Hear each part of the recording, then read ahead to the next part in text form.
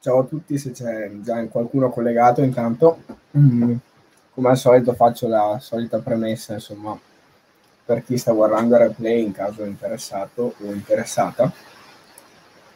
Ovvero adesso aspetterò un paio di minuti giusto ad arrivare alle 6, anche se in realtà non è che mi aspetti grandi partecipazioni oggi. E quindi, insomma, se stai guardando il replay ti consiglio di mandare avanti il video. Ciao Jennifer.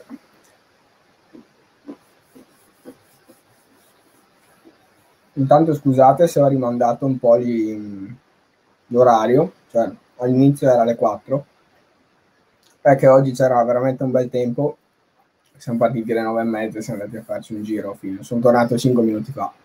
Abbiamo anche visto un alce, un alce con tre, due, i due figli nel bosco, quindi è stato figo.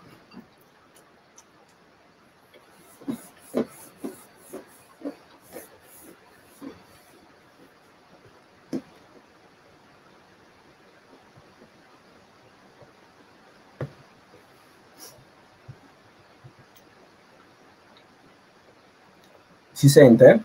Eh, che così fra un paio di minuti inizio e, e so che qualcuno mi ascolta, insomma.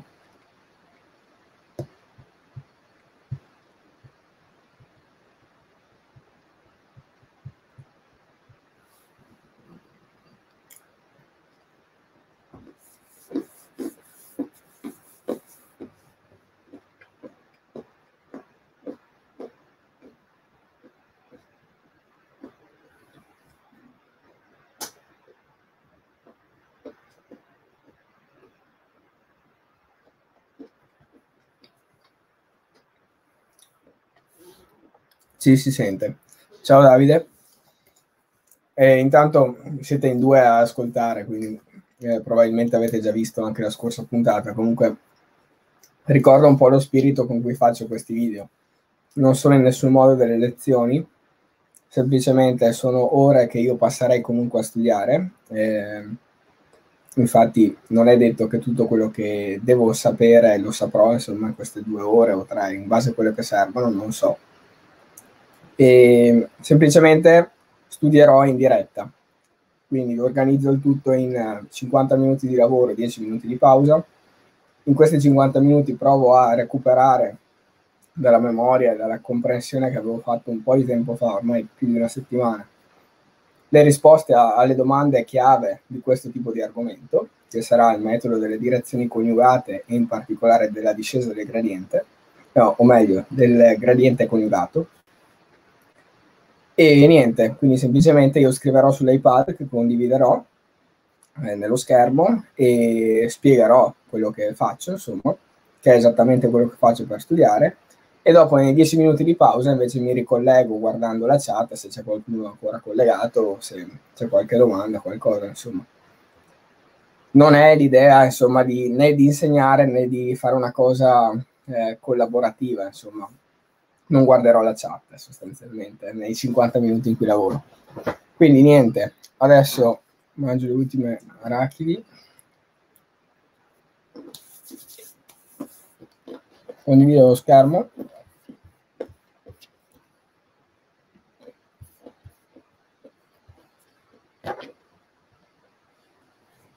E facciamo partire il timer, insomma.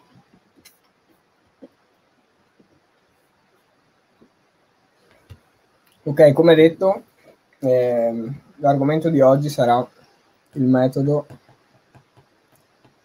numerico, diciamo, delle direzioni hide coniugate. Caso particolare, ma utile, CGM, quindi conjugate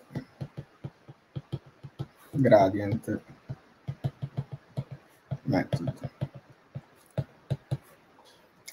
Come l'altra volta, insomma, mi sono organizzato, che è esattamente quello che faccio di solito, una lista delle domande che, se, alle quali se so rispondere sono, tra, sono tranquillo, insomma, che ho capito bene sostanzialmente tutto questo argomento. Quindi partiamo dalla prima, ovvero a cosa serve il metodo delle direzioni coniugate.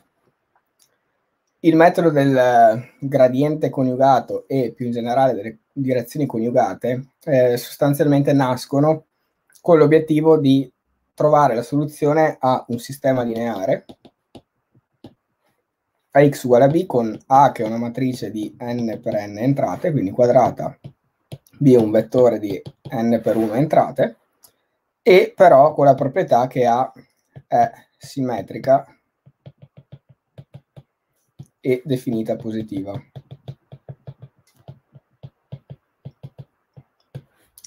Questo è un fattore molto importante perché eh, per un semplice fatto, ovvero che risolvere il problema 1 è equivalente a risolvere un problema di minimizzazione associato di una funzione phi di x che è quadratica, che è questa qui, un mezzo x trasposto a x meno b trasposto x. E questo per il semplice fatto che il gradiente di φ di x è ax meno b. Quindi se noi troviamo i punti critici di questa funzione φ, troviamo esattamente le soluzioni, o meglio la soluzione di questo sistema lineare. Essendo questa una funzione strettamente convessa, tutti e soli i suoi punti critici sono minimi locali e anche minimi globali. Quindi abbiamo un solo minimo globale di questa φ che è anche l'unica soluzione del sistema lineare. In questo senso sono problemi equivalenti. Però questo è un problema di ottimizzazione eh, di una funzione obiettivo strettamente convessa se e soltanto se ha una matrice simmetrica definita positiva. Ecco il perché abbiamo questa eh, caratterizzazione della matrice A.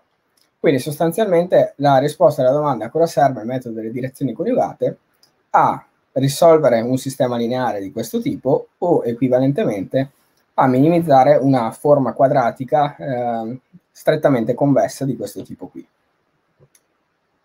Poi ci sono anche eventualmente delle generalizzazioni per problemi non lineari che per il momento non abbiamo ancora visto in questo corso, le ho viste in altri corsi in passato, però eh, vediamo insomma se sarà argomento di qualche lezione in futuro e ne parlerò, altrimenti niente insomma.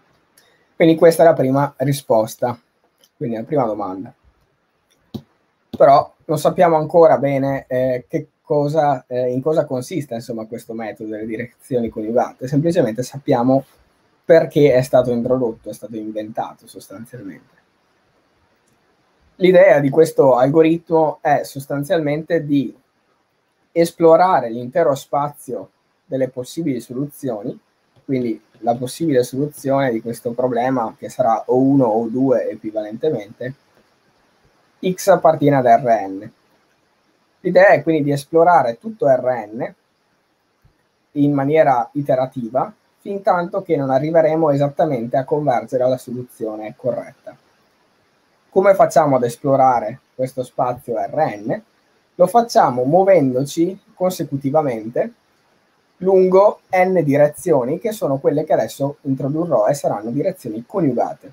Quindi ci muoveremo lungo direzioni P0, P1, fino a Pn-1 che stanno tutti in Rn con Pi diverso da 0 in Rn per ogni i uguale a 0 n-1 e, e no, è P e Pj sono coniugate rispetto ad A per ogni i diverso da j uguale a 0 n-1.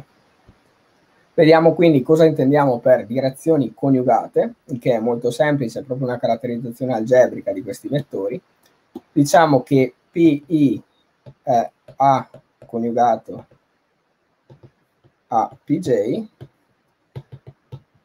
se e solo se PI trasposto a PJ è uguale a 0. Quindi eh, da un punto di vista geometrico possiamo dire che PI e PJ sono A ortogonali, questo è un altro modo di caratterizzare questa, uh, questa relazione. Per esempio, P, PJ, prodotto interno definito da, dalla matrice definita positiva A, che è appunto ben definito, è uguale a 0. Quindi sostanzialmente nel caso banale A uguale all'identità, che è possibilissimo, abbiamo esattamente la classica direzione di ortogonalità geometrica. Vediamo quindi un esempio di direzioni coniugate, uno di quelli più semplici. Se abbiamo una matrice D che è diagonale 2, 0, 0, 1, per esempio, abbiamo che E1 che è 1, 0 trasposto e, E2 che è 0, 1 trasposto sono chiaramente eh, direzioni coniugate. Infatti 1, 0 per 2, 0, 0, 1 per 0, 1 è 2 e 0, poi lo moltiplichiamo per 0, 1 fa 0.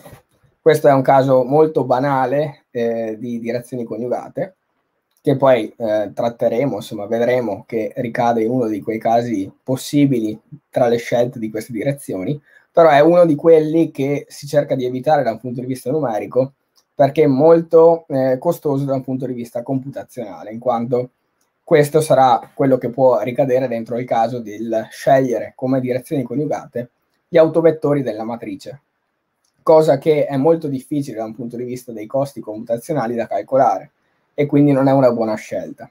Sarà una delle due che sostanzialmente scarteremo e alle quali preferiremo quello che è appunto il metodo del gradiente coniugato, che vedremo in seguito. Benissimo, quindi anche la risposta 2 l'abbiamo data, abbiamo definito queste direzioni coniugate e abbiamo visto un semplice esempio.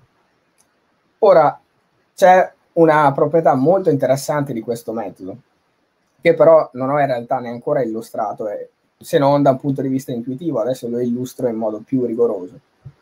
Come tutti i metodi numerici eh, per l'ottimizzazione che vedremo, eh, che, che vedremo in questo corso, sostanzialmente, che sto studiando in questo corso, questo è un metodo iterativo che si basa quindi su una semplice idea. Parto da eh, una certa x con 0 in Rn, che possiamo chiamare eh, tentativo, guess iniziale, iniziale, e lo miglioro iterazione dopo iterazione. Costruisco quindi una successione di approssimazioni eh, successive, eh, scusate un attimo la ripetizione, che eh, hanno l'obiettivo di convergere dopo un numero sufficientemente alto di passi, di iterazioni, alla soluzione che ci interessa. O esattamente o approssimarla in maniera abbastanza eh, buona, accurata. Questo metodo ha la proprietà, che adesso dimostreremo, di convergere esattamente al più in n iterate. Comunque l'iterazione eh, standard sarà xk più 1, il miglioramento al tempo successivo, è la soluzione al tempo attuale, xk, tempo non è corretto, eh, non stiamo parlando di equazioni differenziali in nessun modo, semplicemente l'iterata k'esima più un certo passo che faremo lungo una certa direzione, alfa k, lungo la direzione pk, dove le pk saranno queste nostre direzioni coniugate rispetto alla matrice A. Proprio il fatto che esse siano coniugate rispetto ad A ci permetterà di garantire che esploreremo necessariamente tutto Rn, quindi saremo in grado, in, in al più n iterazioni, e saremo quindi in grado certamente di trovare la nostra soluzione. Ok? Cosa eh, non banale, insomma. Benissimo, ora vediamo questo teorema. E prima magari vi dico eh, come, si può, come si va a impostare questo alfa k per garantire questa convergenza in al più n iterate e dopo il teorema sarà abbastanza semplice da mostrare, nonostante sia un risultato abbastanza generale, molto valido, insomma. L'idea è che questo alfa k sarà eh, quel parametro che ci, metterà, ci permetterà di ottimizzare esattamente, di minimizzare esattamente la funzione lungo questa retta xk più alfa k pk. Quindi sostanzialmente supponiamo di, di, che stiamo facendo un'ottimizzazione sul piano, quindi eh, XY, e supponiamo che eh, la nostra funzione, vabbè, faccia qualcosa, insomma. Comunque non ci interessa, l'importante è la, la dinamica delle iterate sul piano, quindi eh, dal punto di vista delle variabili indipendenti. Noi partiamo da un guess iniziale x con 0, te- eh, la prima iterazione sarà semplicemente un'esplorazione della direzione x, della direzione x con 0 più p0. possiamo andare verso destra, quindi verso l'alto o verso il basso, non è importante. Questo ce lo determinerà, determinerà il segno del parametro alfa k.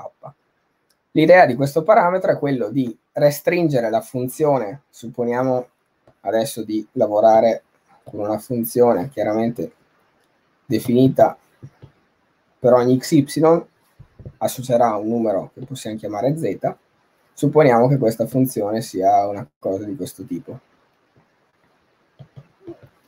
Benissimo, noi partiamo da qua, questa non è definita positiva, è solo per fare un esempietto visivamente chiaro.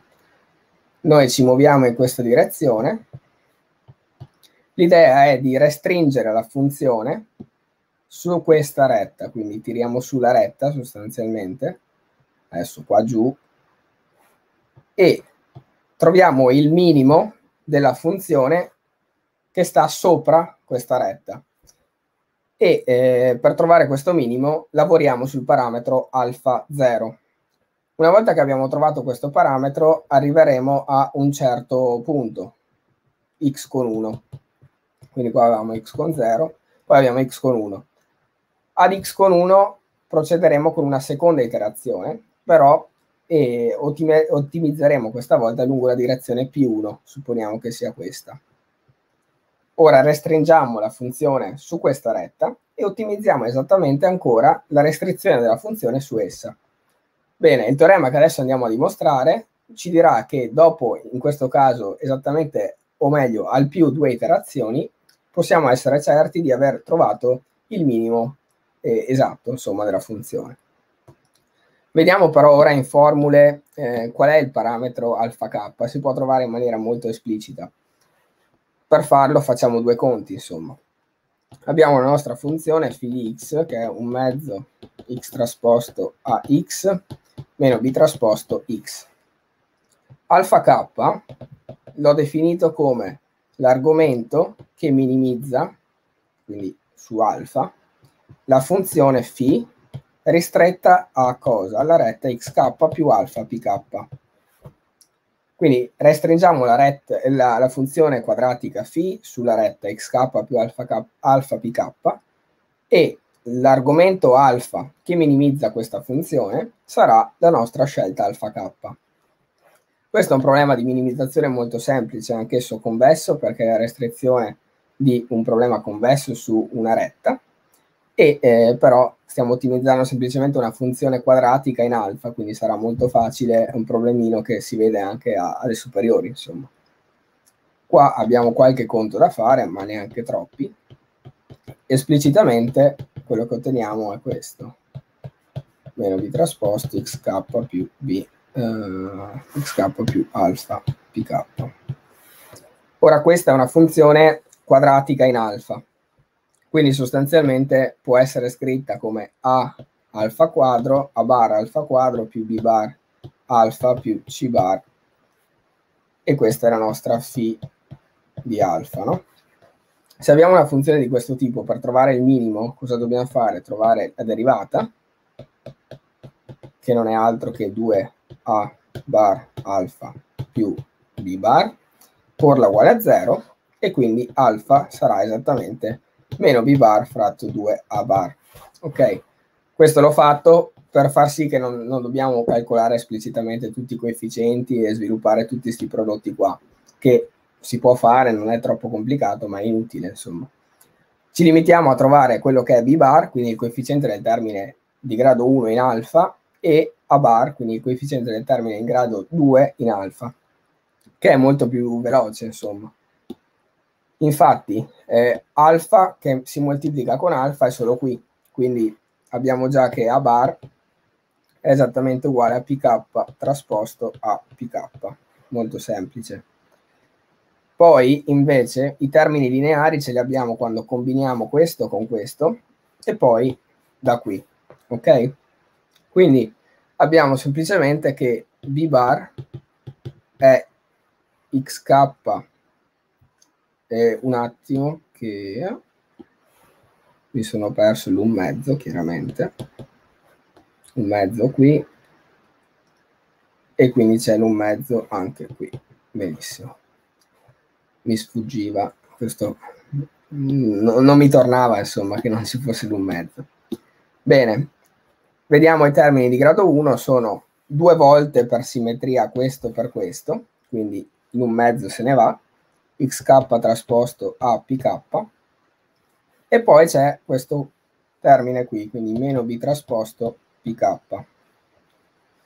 Ora, cosa possiamo fare? Possiamo raccogliere, beh, intanto viene probabilmente più intuitivo capire cosa fare girando il tutto per simmetria,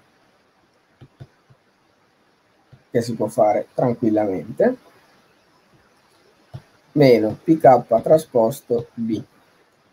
Questo è pk trasposto a xk meno b, ovvero pk trasposto, e questo lo chiamiamo rk. Perché rk? Per un semplice fatto, ovvero che eh, se noi abbiamo la nostra funzione, o meglio, se noi abbiamo il nostro sistema lineare ax uguale a b, noi vorremmo che ax meno b sia uguale a 0. Questo lo chiamiamo il residuo valutato in x. Benissimo. Quindi vuol dire che r di x con k è ax con k meno b.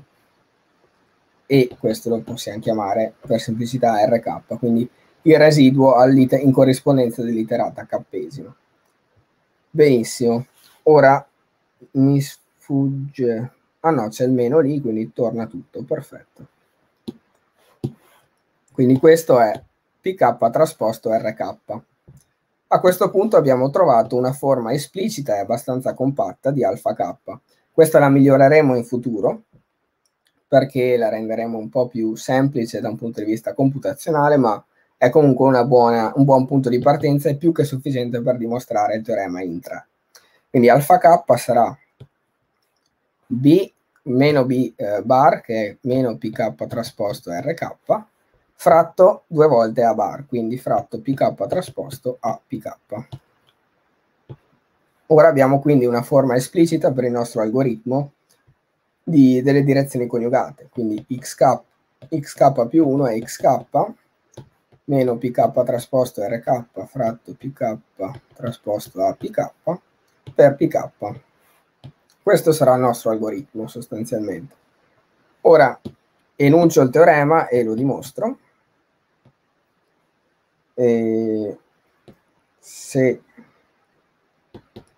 k più 1 più xk più alfa k pk è il eh, metodo delle direzioni coniugate con alfa k scelto come in stella, non qua, stella, allora l'algoritmo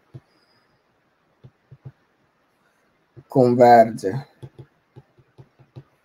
ad x star tale che a x star uguale a b in al più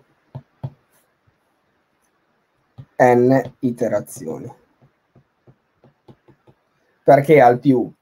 Probabilmente potrebbero esserci, delle, no, senza probabilmente, potrebbero esserci delle situazioni in cui già x con 3, mettiamo che n sia 10, ma già magari x con 3 è uguale ad x, x star, cioè vuol dire che le successive, eh, i, successivi miglioramenti in realtà non andrebbero a modificare in nessun modo quella che è la nostra soluzione e quindi vuol dire che in realtà ci bastano tre iterazioni invece che 10. Ok?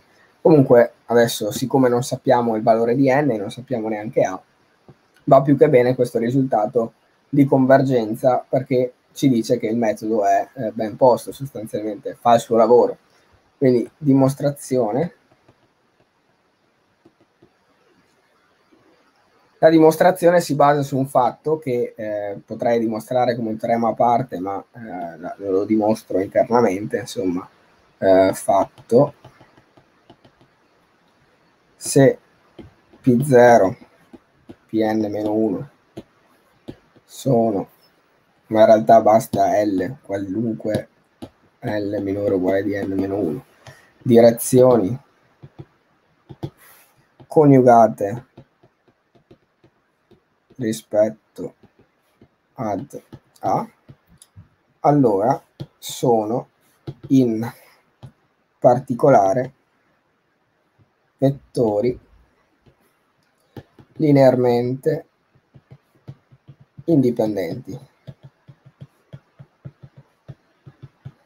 Quindi questo è un fatto importante, dimostro anche questo, eh, non è difficile. Quindi diciamo che questa è una dimostrazione della dimostrazione o comunque un, una dimostrazione di un fatto che useremo. Qua è abbastanza ragionevole eh, dimostrare per assurdo, ovvero eh, supponiamo non siano indipendenti. Ciò vuol dire che eh, esiste un S in 0, 0, 1, L, tale che alfa S diverso da 0 e le somme sugli i che vanno da 0 a L di alfa i eh, pi è uguale a 0, ovvero esiste una combinazione lineare non banale dei nostri vettori che restituisce il vettore nullo. Questa è una cosa possibile se soltanto se i nostri vettori sono linearmente eh, dipendenti, ovvero uno è esprimibile in funzione degli altri, quantomeno. Quindi supponiamo questo, eh, questa è la la, l'assunzione che vogliamo contraddire sostanzialmente. Il eh, modo in cui possiamo concludere è molto semplice. Moltiplichiamo tutto da sinistra per eh, PS trasposto A, dove S è questo elemento qui, con alfa S diverso da 0. Quindi per questa cosa qui sarà ancora uguale a 0, no? Però le nostre direzioni sono coniugate rispetto ad A, ciò vuol dire che intanto il prodotto interno è lineare, eh, in entrambe le entrate è bilineare, e quindi vuol dire che possiamo distribuirlo rispetto alla somma tranquillamente e quindi possiamo già scrivere che questo è esattamente uguale all'unico elemento che si salva, ovvero PS trasposto a PS. Però a, a questo punto siamo a, eh, arrivati alla conclusione sostanzialmente, perché per definizione delle direzioni coniugate non possono essere vettori nulli per cui PS è diverso da 0. Abbiamo assunto alfa S diverso da 0, visto l'assunzione assurda che eh, i nostri vettori sono linearmente dipendenti. Ciò vuol dire che questo è uguale a 0, ma queste cose non sono uguali a 0, cosa assurda. E quindi l'assurdità cos'è? Che alfa S è diversa da 0, ovvero che i nostri vettori non siano linearmente, eh, i nostri vettori siano linearmente dipendenti abbiamo contraddetta e quindi segue la lineare indipendenza di P0 PL. Quindi le nostre direzioni sono in, in particolare eh, linearmente indipendenti. Questo ci servirà adesso per concludere sostanzialmente in poche righe anche questa dimostrazione che ti ricordo se c'è qualcuno collegato, non so, magari sto parlando da solo, che va benissimo comunque, vogliamo dimostrare che sostanzialmente in al più n iterazioni andiamo a convergenza, ovvero che xn alla peggio sarà uguale ad x star. Benissimo. Quello che facciamo adesso è dire che e cos'è che possiamo fare? Ok, supponiamo x con 0 e guess iniziale. Studiamo il vettore x, con, x star meno x con 0 con questa che è la soluzione. Supponiamo di conoscerla chiaramente, altrimenti non possiamo dire quando arriviamo a convergenza o se arriviamo a convergenza. Però questo che cos'è? Un vettore qualunque di Rn. Benissimo. Poi abbiamo le nostre direzioni coniugate, che sono contenute in Rn, e sono n, n vettori linearmente indipendenti. Che è la, esattamente la definizione di una base di Rn. Cosa vuol dire questo? Beh, semplicemente che esiste una combinazione lineare di questi che ci genera il vettore x star meno x con 0, no? Quindi vuol dire che x star meno x con 0 è uguale per qualche scelta di sigma i di questi parametri a sigma i per pi. Benissimo. A questo punto cos'è che possiamo fare? Possiamo interessarci di come è fatto questo cappesimo coefficiente, no? per dare un po' una forma esplicita a questa combinazione lineare. L'idea per isolare questo sigma k è ancora di sfruttare la, il fatto che le direzioni siano coniugate e fare esattamente come abbiamo visto prima, ovvero premoltiplico per pk trasposto a. Sfruttando la, il fatto che queste siano coniugate, rimarrà a destra solo pk trasposto a per pk per sigma k, no? che è esattamente quello che ci interessa. A sinistra abbiamo pk trasposto a x star meno x con 0 e a destra abbiamo sigma k pk trasposto a pk. Quindi abbiamo una forma esplicita dei nostri coefficienti, nonostante a priori non sappiamo come sia fatto x, con, x star e neanche x con 0, visto che possiamo sceglierlo come vogliamo, però comunque una volta che li fissiamo sappiamo qual è la forma diciamo della sigma k. Giusto per essere precisi e evitare incomprensioni, questo è sempre diverso da 0 per il semplice fatto che pk è diverso da 0, visto che fa parte di un insieme di direzioni coniugate, e A è una matrice definita positiva, e quindi questo è sempre maggiore strettamente di 0. Quindi possiamo dividere per esso, no? Benissimo. Qual è l'idea adesso? L'idea è che noi abbiamo quindi una forma esplicita per questi coefficienti e sappiamo che x star è x con 0 più sigma 0 p0 più sigma 1 p1 più sigma n meno 1 pn meno 1.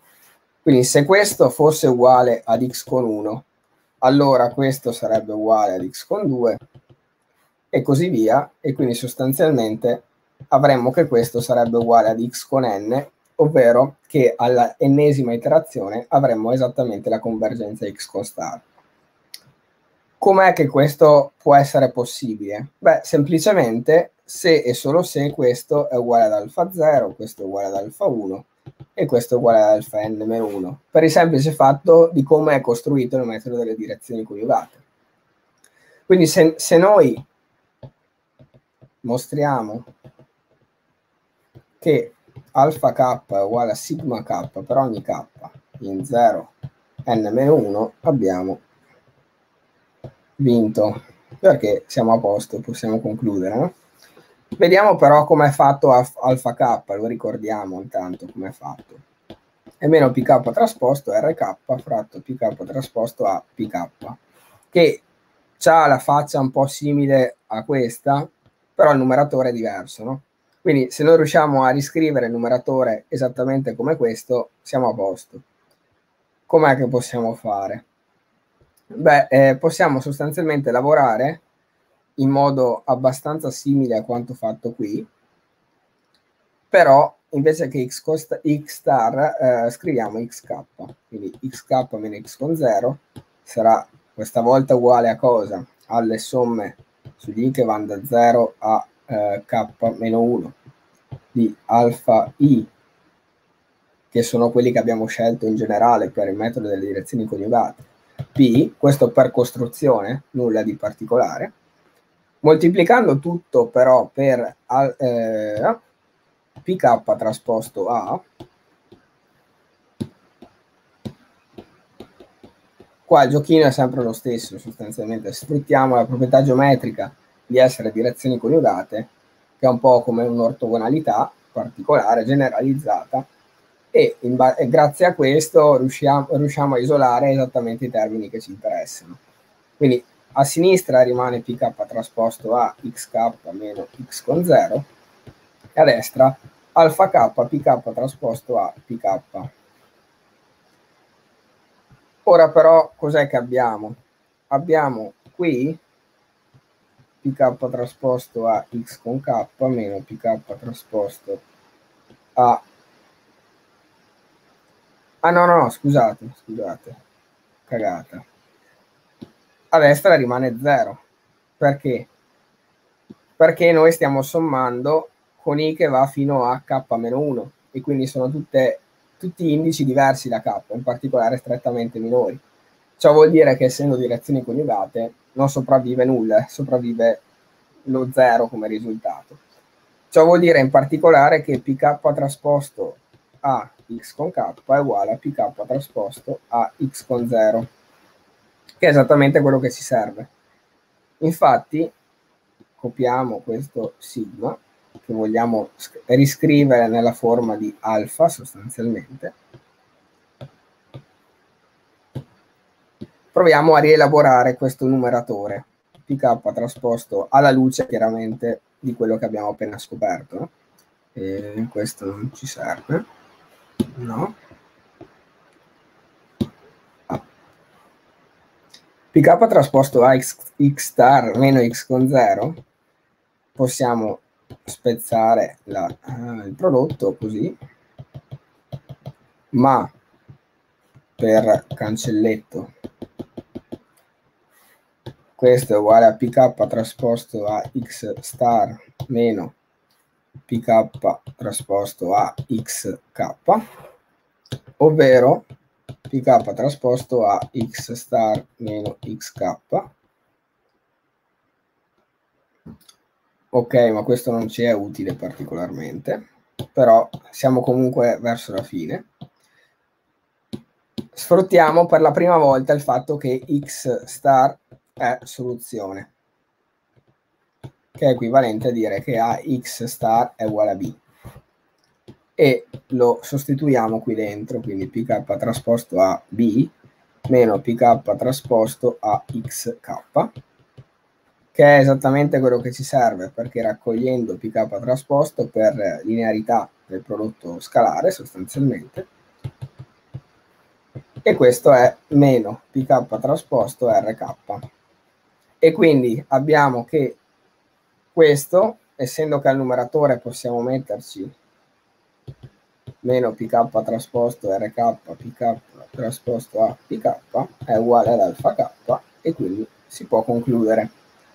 Questo è esattamente quello che volevamo, in quanto in questo modo siamo certi che possiamo raggiungere la convergenza in al più n iterazioni.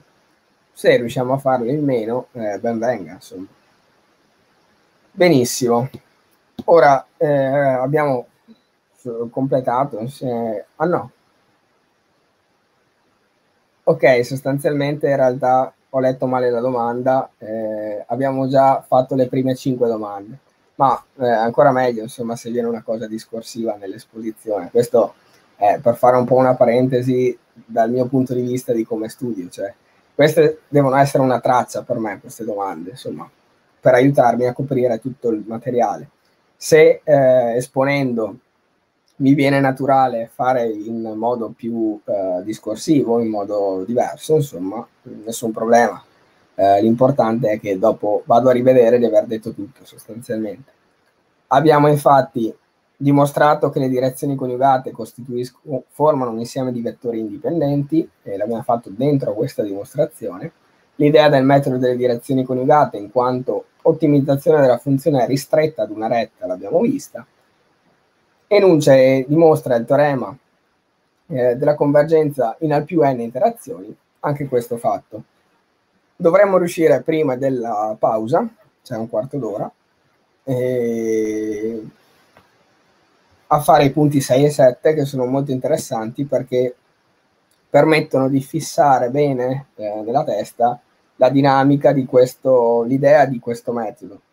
Eh, ovvero andiamo a vedere da un punto di vista geometrico e intuitivo che cosa fa questo metodo, insomma. E sostanzialmente separiamo questa interpretazione in due parti. Parte 1 A diagonale, parte 2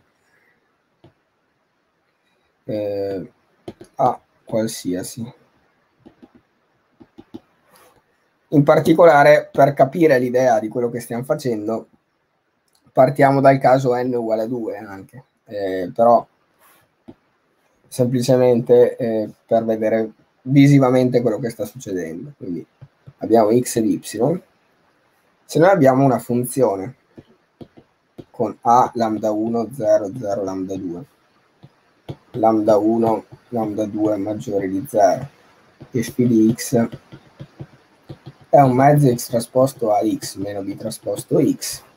Cos'è che abbiamo? Abbiamo che l'insieme di livello di questa funzione, quindi φ di x uguale a c, chiaramente in questo caso, beh, no, necessariamente, non necessariamente, φ di x uguale a c, qual è la forma geometrica di questi insiemi di livello? Beh, questa è sostanzialmente la caratterizzazione di un'ellisse.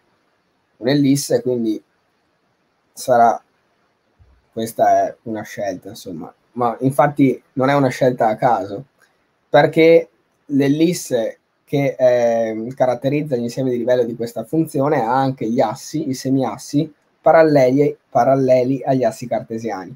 Quindi è corretto metterla in questo modo. Chiaramente sarà distesa sostanzialmente se lambda 1 è maggiore di, z, è maggiore di lambda 2, sarà eh, allungata verso in verticale se eh, è vero il contrario, quindi se lambda 2 è più grande.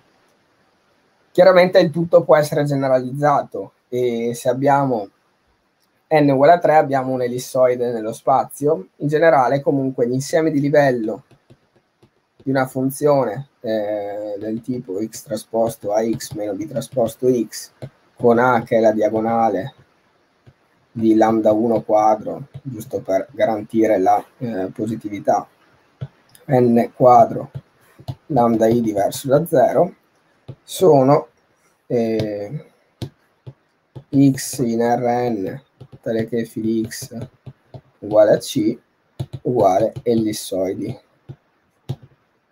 con assi paralleli agli assi cartesiani. Cosa ci dice questo in particolare? Ci dice una cosa molto interessante di questo metodo, quantomeno nel caso delle matrici diagonali, ovvero proviamo a pensare un attimo qual è l'iterazione classica del metodo. Anzi, facciamola prima. X, x con 1 non è altro che x con 0 più alfa eh, 0 p0. Benissimo. Quali sono le direzioni coniugate di una matrice di questo tipo? Beh, saranno vettori eh, che sono sostanzialmente multipli delle direzioni canoniche di E1 e N. Quindi sostanzialmente cos'è che stiamo facendo? Essendo che alfa 0 non è altro che l'arg min su alfa in R di φ ristretto a x con 0 più alfa p0, quello che stiamo calcolando con x con 1 è l'esatta prima componente, o, o, meglio, stiamo trovando un vettore la cui prima componente è l'esatta prima componente della soluzione. Quindi sostanzialmente questo è quello che facciamo con x con 1, infatti restringiamo il tutto a una variazione solo nella prima componente, visto che p0 sarà un, un multiplo di E1, ok? Ottimizziamo questa restrizione e poi partendo da x con 1 lavoriamo nella direzione P1. La direzione P1 sarà un multiplo, idealmente supponiamo le ordinate, eh, altrimenti non è importante, comunque l'idea dovrebbe essere abbastanza chiara. Sarà un multiplo eh, intero, no, reale, insomma, eh, di E2. Quindi la restrizione sulla retta x con 1 più alfa 1 P1 non sarà altro che un'ottimizzazione sulla seconda componente. Quindi l'idea è che sostanzialmente x con k sarà un vettore dove supponiamo le direzioni eh, coniugate ordinate, quindi p con 0 corrisponde alla prima componente, p con 1 alla seconda e così via, dove eh, le prime k componenti della soluzione sono corrette. Più formalmente, cos'è che stiamo dicendo? Che è esattamente il risultato anche generale, però che stiamo costruendo in maniera intuitiva per un caso semplice. x con k è la soluzione esatta del problema, trova min su x in omega di phi di x, con phi di x che è la nostra funzione quadratica, con omega che è l'insieme delle combinazioni lineari dei vettori P0 più 1, Pn Pk-1. Ok. Quindi sostanzialmente abbiamo queste k direzioni che formano un sottospazio di Rn di dimensione k e la soluzione, il minimo di questa phi di x su questo spazio, la proiezione, se vogliamo, della soluzione su questo spazio è esattamente x con k. Quindi è questo il motivo per cui sostanzialmente all'ennesima abbiamo la soluzione esatta o alla peggio all'ennesima. Infatti in xn avremo che omega corrisponde con Rn, visto che P0 Pn-1 sono una base di Rn, quindi lo spazio generato da essi è esattamente Rn. Ok, quindi questa è l'idea per il caso matrice diagonale. Nel caso di matrice che non è diagonale, il problema è meno intuitivo da un punto di vista geometrico, quindi caso 2 a non diagonale. Però in realtà anche in questo caso abbiamo che, eh, essendo la funzione quadratica, gli insiemi di livello sono degli ellissoidi. Eh, il problema è che non sono più con gli assi paralleli agli assi cartesiani, ma saranno con gli assi paralleli agli autovettori della matrice A. Quindi da un punto di vista geometrico non è così chiaro. È ancora vero questo fatto, però adesso ci arriviamo a vedere il perché in maniera molto semplice ovvero sfruttando in qualche modo tramite un cambio di coordinate molto semplice il caso 1. Ok? Quindi quello che facciamo è adesso definiamo una matrice S, che non è una matrice a caso, ma è una matrice le cui colonne sono le nostre direzioni coniugate. Qual è eh, il fatto? Il fatto è che sostanzialmente arriveremo a lavorare con una funzione sempre quadratica eh, strettamente convessa, definita però da un'altra matrice ben più semplice, perché diagonale, che sarà S trasposto A per S. Il perché questa sia diagonale segue semplicemente dal fatto che le P, P trasposto A PJ è uguale a 0 per ogni I diverso da J, quindi per il fatto che sono direzioni coniugate questa è una matrice diagonale. Eh, se non ti convince, adesso non sto qui a eh, spiegarmi meglio, insomma, perché per me è abbastanza chiaro, quindi eh, siccome l'idea principale, l'obiettivo principale di queste dirette è ripetere per me, insomma, eh, mi, mi, fermo qui. Comunque è veramente un fatto abbastanza semplice di trasporre S e eh, scrivere ipercomponenti la nostra soluzione. Comunque, vediamo come arrivare a questo. Definiamo ora un nuovo, una nuova variabile x hat che è semplicemente s alla meno 1. S è chiaramente invertibile in quanto le colonne sono direzioni coniugate, quindi eh, linearmente indipendenti, e quindi S ha determinante non nullo. S alla meno 1 per x. E studiamo poi cosa? Phi hat di x hat che è definita essere phi di x o alternativamente phi di sx hat, ovvero sostanzialmente al posto di x mettiamo sx hat. sx hat trasposto a sx hat meno p trasposto sx hat. Quindi questo è, è x hat trasposto S trasposto A S x hat meno S trasposto B trasposto x hat. Benissimo. Quindi sostanzialmente abbiamo una nuova funzione sempre quadratica, però dove queste sono è una matrice diagonale lambda 1, lambda n. Ok? Ora, a questo punto sappiamo benissimo per le, il caso 1 qual è eh, l'idea del o meglio, qual è la motivazione geometrica dietro al fatto che in al più n iterate noi stiamo convergendo. In particolare sappiamo che eh, la cappesima iterazione è la soluzione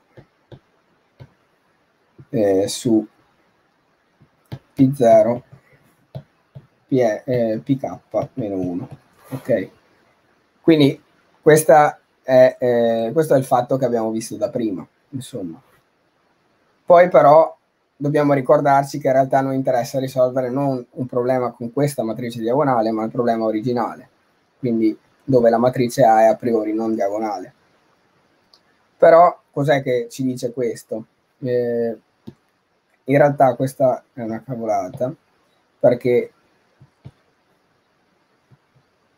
quello che sappiamo è che xk sarà la soluzione sulle prime k, eh, sui primi k di eh, vettori della base canonica di Rn, per quello che abbiamo visto prima. Visto che adesso non stiamo più lavorando con A, quindi non stiamo più lavorando con una matrice che è legata in qualche modo a P, ai vettori coniugati, ma con questa matrice che possiamo chiamare B, le cui direzioni coniugate sono proporzionali a questi vettori eh, della base canonica, no? E quindi abbiamo es- esattamente il fatto di prima, però tornando poi nella base precedente, quindi nella coordinata x, sappiamo che all'entrata ah, la, componente xk, questo xk hat, xk, che cos'è xk? È semplicemente s per xk hat sostanzialmente, no? E quindi è la soluzione esatta di min x in omega con phi di x con omega che è s per e1 e k. Il che ci porta a dire cosa? Semplicemente che essendo pensato il cambio di coordinate per spostare la base canonica nella base fornita dalle nostre direzioni coniugate, la direzione cappesima è esattamente quella che eh, l'iterata cappesima è esattamente quello che ho scritto prima, ovvero xk è la sul di phi min x in omega, phi di x, con omega che è p0 pk meno 1. Quindi questa è sostanzialmente eh, l'interpretazione geometrica di questo metodo. Possiamo riassumerlo in un teorema che però adesso probabilmente, vabbè, lo scrivo, sia P0 Pn-1 un insieme di direzioni coniugate risp ad A. Supponiamo che xk costruita con il metodo delle dir coniugate non sia la soluzione di ax uguale a b. Allora xk è quantomeno la sol esatta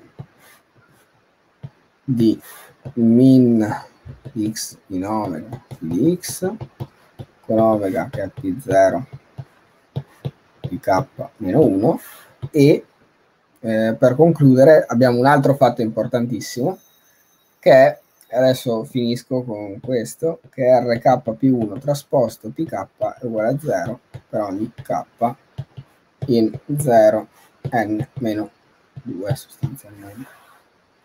Ok. Uh,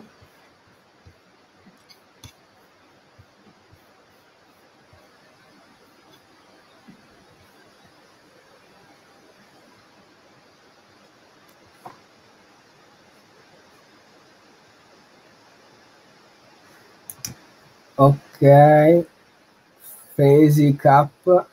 Ditemi che ho capito bene, abbiamo un problema del tipo ax meno b uguale a 0. Mi accorgo che questo può essere il gradiente di una funzione φ. Da quanto ho capito adesso stiamo cercando i massimi minimi di φ. Solo i minimi, sì.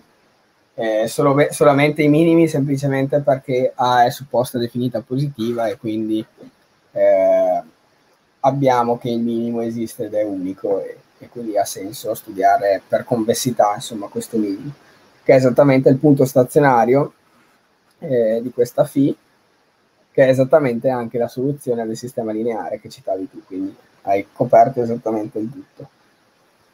Quindi questo è quanto per ora.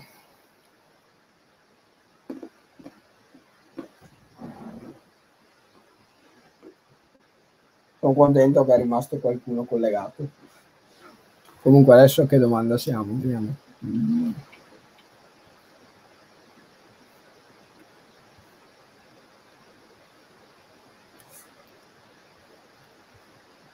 Siamo circa a metà, quindi non so se riesco a finire in un'altra ora. Forse sì, forse no. Eh,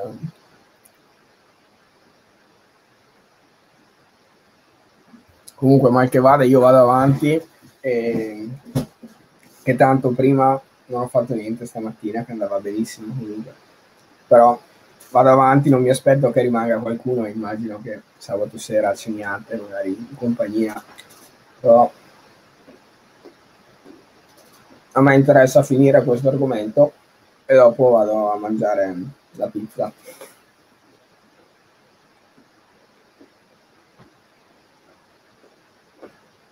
Intanto si vede, si legge bene, eh, visto che vedo che qualcuno è collegato. Se no sistemo, faccio qualcosa, insomma.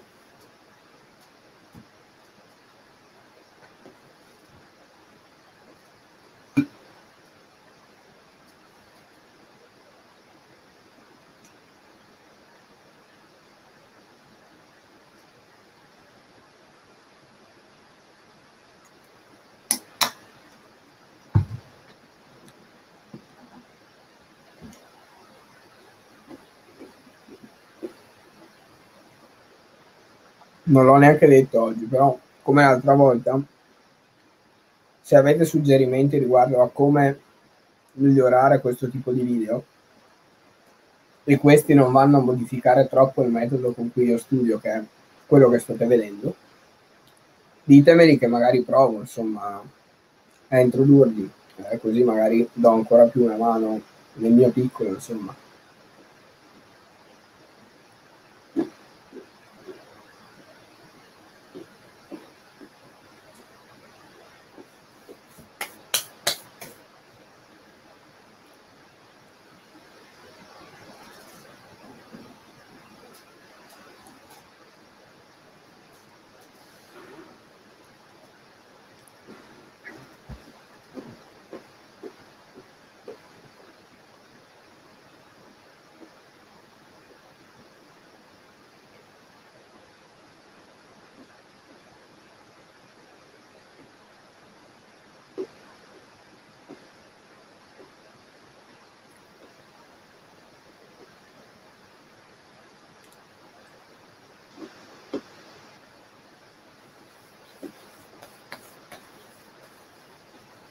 Intanto giustamente vedo che è rimasto solo una persona, cosa che va benissimo. Cioè. A me non stupirebbe nemmeno di rimanere da solo. Cioè. Semplicemente, eh, appunto, io faccio questi video sperando che magari a qualcuno possa andare una mano. E comunque ripeterei senza telecamera, però ripeterei comunque, insomma.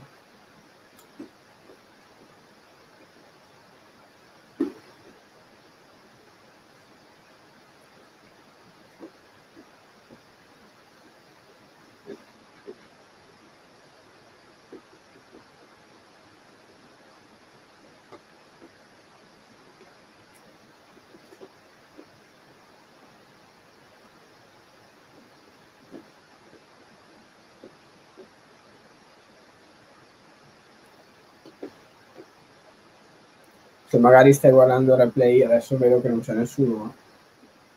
Mm. Io di solito studio 50 minuti e poi 10 minuti faccio pausa. Adesso sto mangiando. Ma... Quindi se, se, stai guardando il replay, insomma, manda pure avanti. Adesso mancano, mancano 4 minuti e mezzo di pausa. e dopo puoi riprendere a vedere quello che dico, insomma se ti interessa, se no puoi smettere tranquillamente.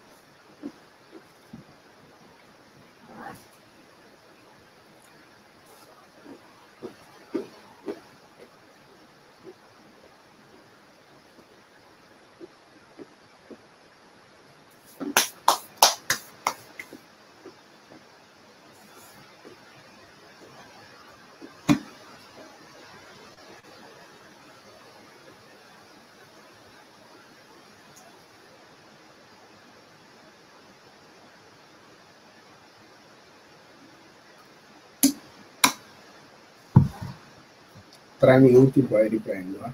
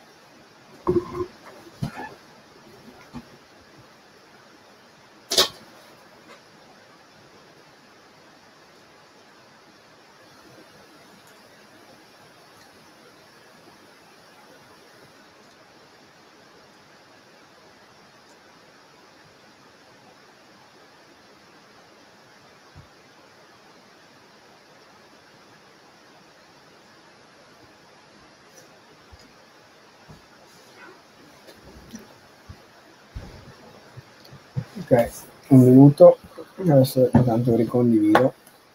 Mm.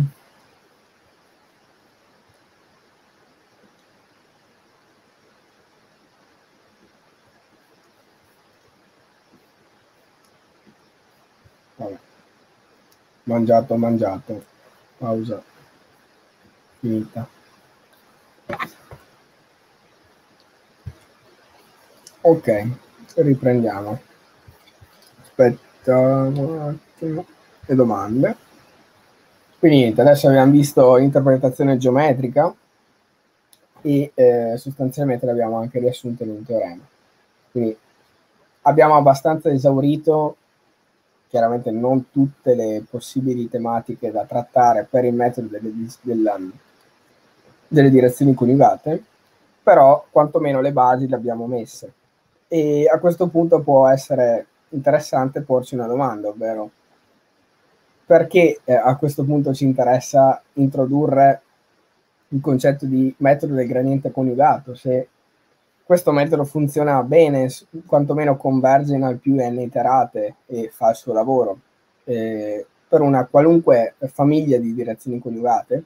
Quindi perché dobbiamo particolarmente sceglierne una di queste famiglie che fa esattamente il lavoro delle altre però, eh, però magari è più complicata da ricercare, insomma. In realtà non è più complicata, infatti sostanzialmente il metodo delle direzioni coniugate non è facile da costruire da un punto di vista numerico, perché in generale bisogna trovare un modo sistematico di, eh, data una matrice A, che è SPD, quindi simmetrica definita positiva, bisogna trovare delle direzioni coniugate P0 e Pn-1, cosa non banale in generale.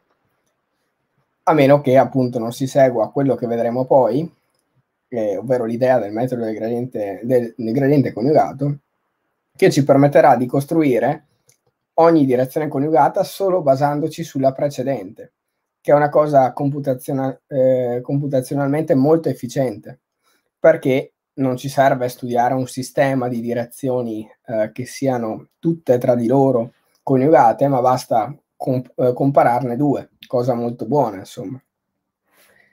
Prima di introdurre questo metodo, però, vediamo alcune altre possibili scelte. La prima, abbastanza intuitiva, che è esattamente l'esempio che ho fatto all'inizio, è quella di scegliamo P0 PNM1 come gli autovettori di A.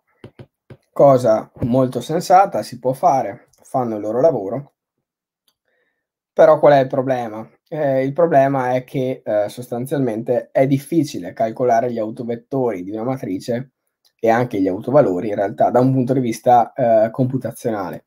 È molto costoso e quindi non è una buona scelta visto che comunque questa è una fase obbligatoria nel metodo delle direzioni coniugate, quella di scegliere queste direzioni, no?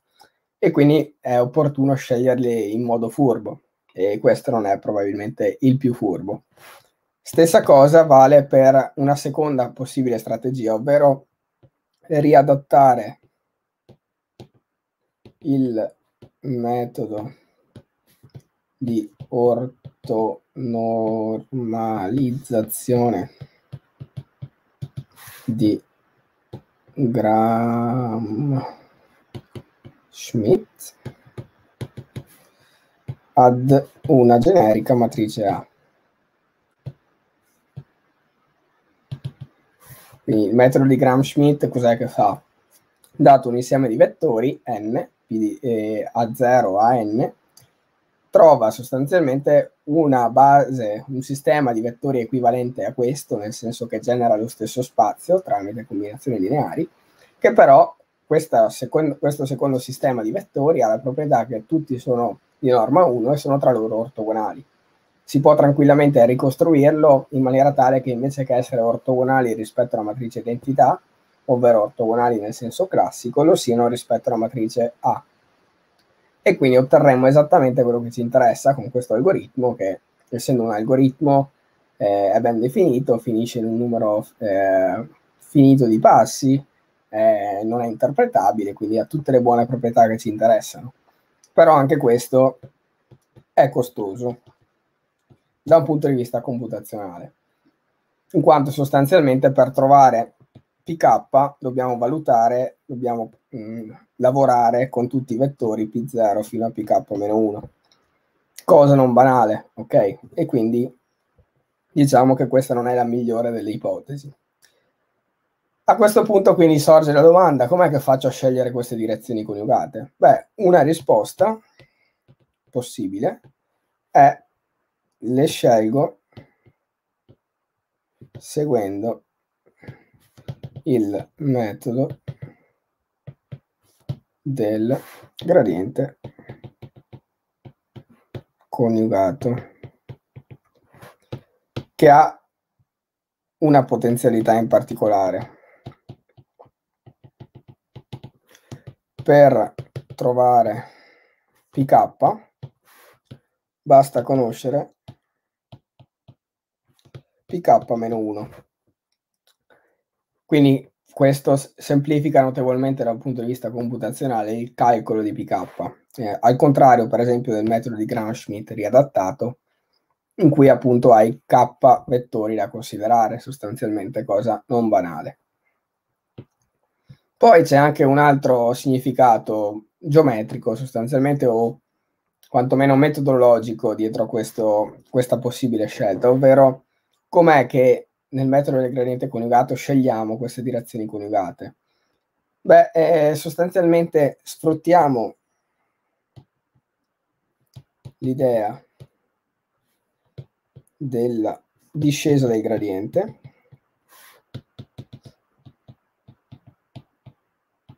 che è un algoritmo che, eh, di cui parlerò domani, in questa, farò una live tipo questa, però eh, in cui vedremo i metodi di ricerca di tipo line search, line search e in particolare studieremo alcune condizioni per riadegua- riadattare e scegliere opportunamente il passo di, per ricercare lungo queste eh, direzioni, lungo questi spazi unidimensionali la soluzione.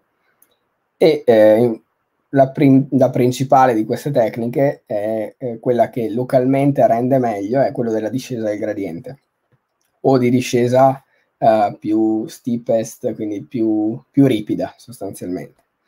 L'idea del metodo è semplicemente quella di costruire un'iterazione di questo tipo meno alfa k gradiente di f in xk con f la funzione che vogliamo ottimizzare e alfa k maggiore di 0 questa si può dimostrare essere la direzione di massima decrescita localmente.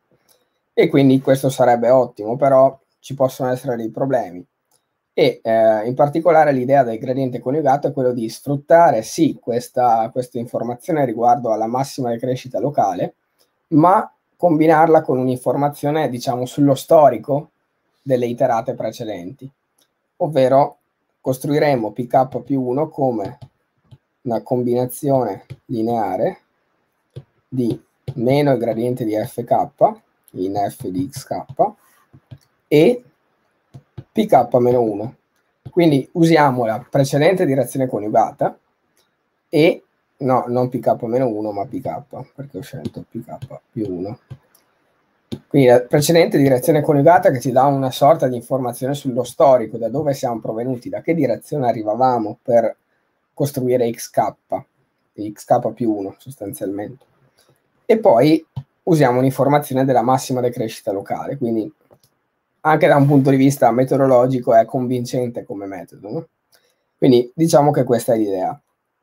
Ora però dobbiamo lavorare eh, per scrivere questo metodo, in particolare l'approccio che userò è quello di partire da una formulazione abbastanza semplice e molto costosa, sempre da un punto di vista computazionale, che poi con qualche analisi che faremo nel, in corso d'opera, in particolare ci sarà un teorema abbastanza grosso, che è sostanzialmente questo, e grosso quantomeno per la dimostrazione, che non sono certo di ricordare nei dettagli perché è un po' tecnica, insomma.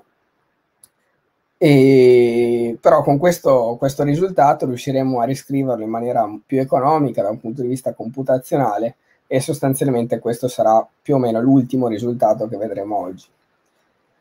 E però vediamo quindi come scrivere in formule questa cosa qui. Quindi formalizziamo questo fatto.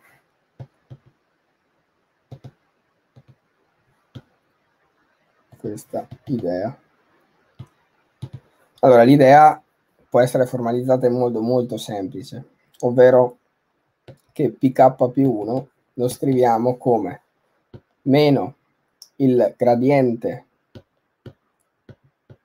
in fk di φ però stiamo usando lei come funzione più una certa beta k più 1 che adesso non sappiamo quanto valga però adesso dirò come sceglierla il criterio è veramente molto furbo per cosa? Per la precedente direzione coniugata. Quindi questo esattamente, questo appartiene allo span di meno il gradiente, meno l'ho messo solo per ricordarselo, ma si può evitare, visto che la direzione è la stessa, è pk, no? cosa molto ragionevole. Ora però, com'è che scegliamo questo beta k più 1? Beh, lo scegliamo ricordandoci di quest'altra proprietà che ho detto essere tipica del gradiente coniugato, però essendo che lo stiamo costruendo, lo stiamo derivando, dobbiamo imporla questa proprietà. Ovvero la proprietà è che costruiamo pk più 1 imponendo che pk più 1 è coniugato a pk. Dopo dimostreremo che questo è, è sufficiente per in realtà avere che pk più 1 è coniugato anche a tutte le precedenti direzioni, cosa molto interessante. Bene, quindi vediamo come, eh, come imporlo. Beh, in realtà è molto semplice, per imporlo dobbiamo giocarci questo parametro. Lo sceglieremo in modo opportuno per ottenere questo risultato. Prima però lo riscrivo in maniera furba, ricordando com'è φ di x con k, no, in x per essere più tranquilli. il gradiente di φ è ax meno b e quindi meno il gradiente di φ di x con k è eh, b a x con k, che è esattamente quello che abbiamo chiamato l'opposto del residuo k-esimo. Quindi il gradiente coniugato, eh, la scelta della successiva direzione che vogliamo essere coniugata, quantomeno a pk, è semplicemente meno rk più beta k più 1 pk che vedi essere un aggiornamento molto semplice e facile da calcolare al computer sostanzialmente. Scegliamo però beta k in modo opportuno per far sì che questa cosa sia vera. E lo facciamo proprio per calcolo diretto, quindi niente di complicato. Quindi calcoliamo pk più 1 trasposto a pk e lo imponiamo uguale a 0. Ovvero meno rk più beta k più 1 pk trasposto a pk. Ok. Meno rk trasposto a pk più beta k più 1 a pk a pk da cui segue che fissiamo per costruzione sostanzialmente beta k più 1 essere uguale a rk trasposto a pk fratto pk trasposto a pk. In realtà adesso eh, ho detto una cavolata perché pk più 1 è la direzione lungo la quale vogliamo procedere una volta che abbiamo xk più 1 come eh, iterata corrente e quindi in realtà la massima decrescita ce l'abbiamo in meno il gradiente in xk più 1. Esatto. Quindi mi correggo. Esatto, quindi non sarà più RK ma RK più 1 e sarà RK più 1 ovunque, vabbè, quindi sbagliato, sbagliato, l'importante è che sia corretto alla fine. RK più 1 trasposto a PK fratto PK trasposto a PK. Benissimo, quindi questo è il nostro beta K più 1. Quindi abbiamo che il nostro pk più 1 non è altro che meno rk più 1 più pk trasposto a pk rk più 1 trasposto a pk pk. Ricordiamo poi qual era la scelta che abbiamo calcolato prima, che è valida per una qualunque famiglia di direzioni coniugate e in particolare per una qualunque scelta del metodo della discesa coniugata, delle direzioni coniugate, quindi anche per il gradiente coniugato, alfa k è meno pk trasposto rk fratto pk trasposto a pk. A questo punto siamo veramente pronti a scrivere una prima versione rozza e costosa del metodo del gradiente coniugato.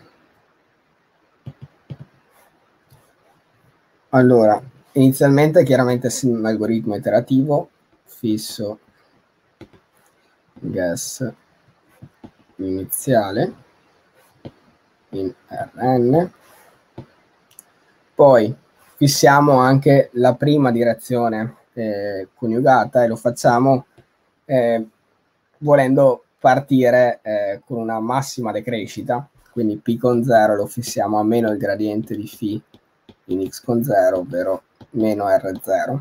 Ok.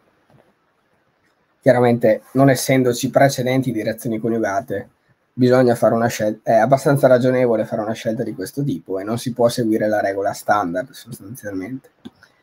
Finché x con k è diverso da x star, sol, sol di ax uguale a b, quindi quella che vogliamo essere la nostra soluzione, la nostra ultima iterata, cosa, e questa condizione è un'ottima condizione di arresto per quello che abbiamo dimostrato prima, ovvero che esiste al più eh, un k uguale ad n, tale per cui questa condizione è soddisfatta, quindi usciremo di sicuro dopo un numero finito di iterate da questo ciclo. Cos'è che facciamo? Eh, beh, eh, prima di tutto calcoliamo alfa k meno pk trasposto rk fratto pk trasposto a pk. Quindi il secondo step da fare è quello di aggiornare quindi la nostra soluzione xk più 1 xk più alfa k pk. A questo punto abbiamo la possibilità di calcolare anche un nuovo residuo, quello attuale, rk più 1, è axk più 1. Quindi questo ci dà una sorta di misura di quanto stiamo ancora sbagliando eh, rispetto alla soluzione finale, sostanzialmente. axk più 1 meno b. Siamo quindi pronti a calcolarci il nostro beta k che abbiamo scritto qui, ovvero, o meglio, beta k più 1, che è rk più 1 trasposto a pk fratto pk trasposto a pk, e sono tutte cose che conosciamo. Possiamo quindi eh, finalmente aggiornare la direzione coniugata, quindi la nostra successiva direzione di line search di ricerca unidimensionale del minimo, che sarà semplicemente meno rk più 1, cosa che conosciamo, più beta k più 1, pk, incrementiamo k, quindi k è uguale a k più 1, concludiamo. Questo è un primo modo appunto rozzo, eh, il, mod- il, perché sia rozzo è abbastanza semplice, ovvero eh, stiamo facendo delle cose costose più volte per nessun motivo sostanzialmente.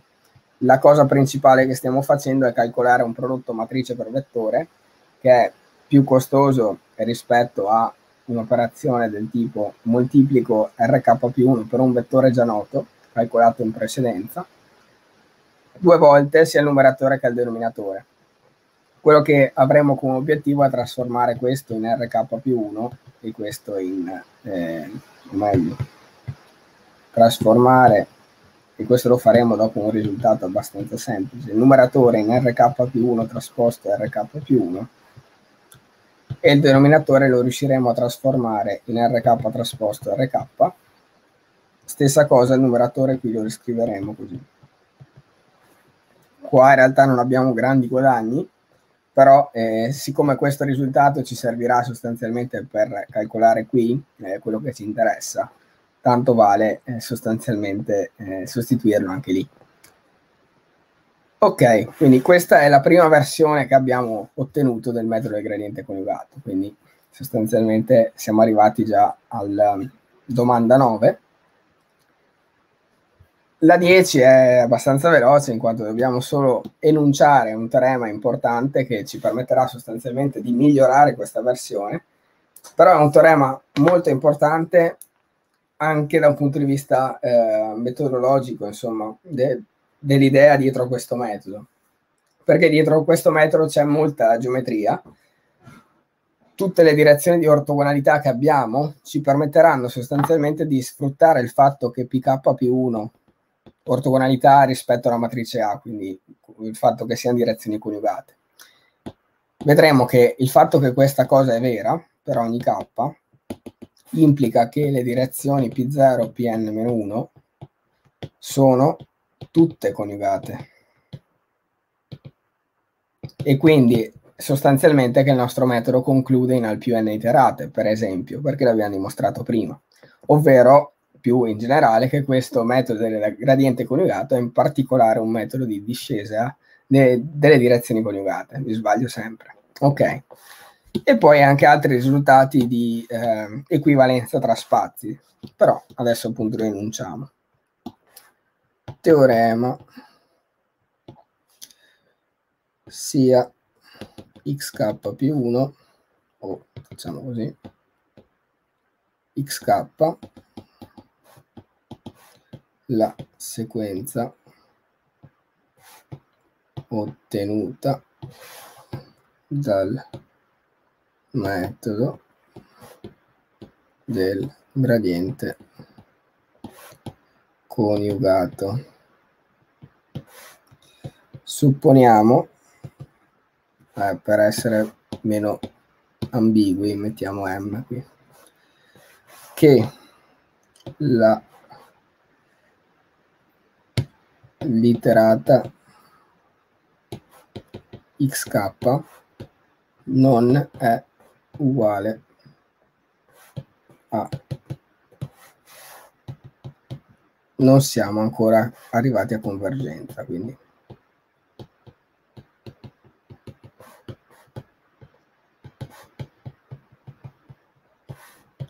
allora i seguenti risultati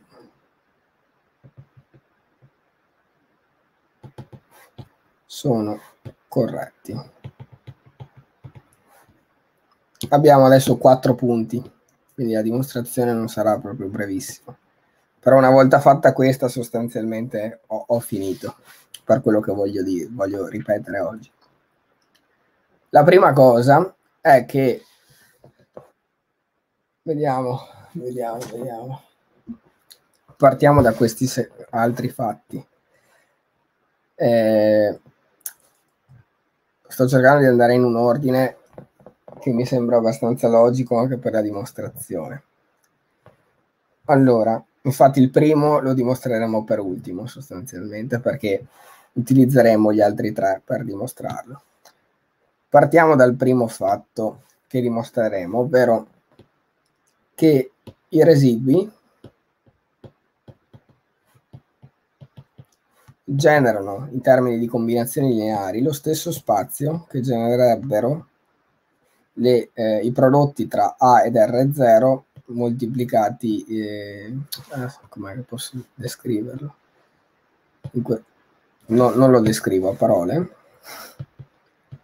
Questo spazio qui. Quindi fermiamoci a K, visto che abbiamo fatto questa scelta. R0. Ok. Quindi questa è l'uguaglianza tra spazi che vogliamo avere. Quindi sostanzialmente l'idea è che essendo A nota, nel momento in cui conosciamo R0, conosciamo l'intero spazio generato dai, dai residui, dai primi K residui. Stessa cosa in realtà vale anche per le prime K direzioni coniugate questo è anche uguale a R0 a R0 fino a K-1 R0. Poi P0 PK-1 sono direzioni, ma in realtà, ma sì, dai.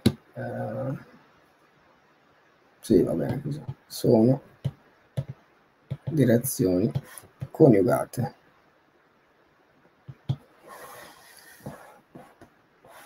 eh, recupero un fatto che avevamo visto prima, ovvero che RK più 1 trasposto R, eh, PK era uguale a 0. Poi però abbiamo un'altra cosa importante che sarà legata abbastanza a questo fatto, però è un qualcosa che non abbiamo ancora visto, quindi vabbè, per ora la mettiamo qui tra parentesi. E il fatto è che i residui sono ortogonali tra di loro. In particolare RK è ortogonale ai residui precedenti.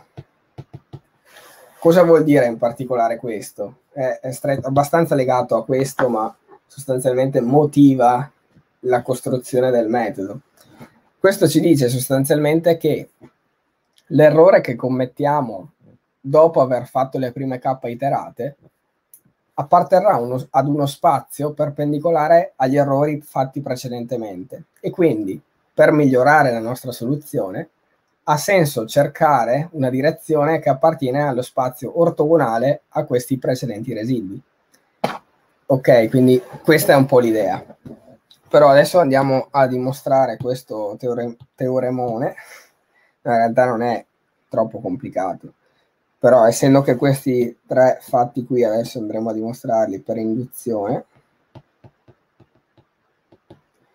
richiede un po' di non solo averlo capito, ma un attimo di memorizzare la sequenza dei, dei, dei passaggi. Quindi no, non sono certo di riuscire a richiamarla completamente. Vediamo, spero di sì.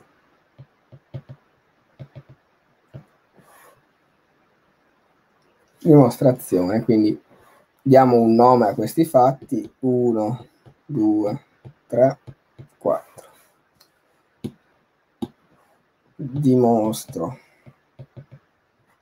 prima, 2, 3, 4 e lo faccio per induzione su K. Ok, quindi partiamo dal caso semplice in cui intanto ricordo che, che cos'è K, sostanzialmente K è un'iterata qualunque con l'unico requisito che non siamo ancora arrivati a convergenza a questa k-esima iterata. Potrebbe benissimo essere k uguale a 0 fino a k uguale a n meno 1, ok? Eh, sappiamo che con k uguale a n convergiamo necessariamente.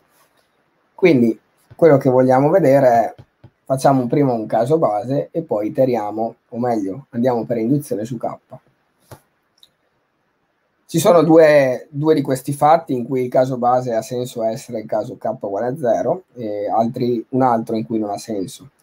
Eh, chiaramente questo è il caso in cui non ha senso il caso K uguale a 0 in quanto una direzione non può essere coniugata a se stessa proprio per definizione di direzioni coniugate, mm, no, non ha senso e quindi qua faremo il caso base con k uguale a 1, le altre due con k uguale a 0.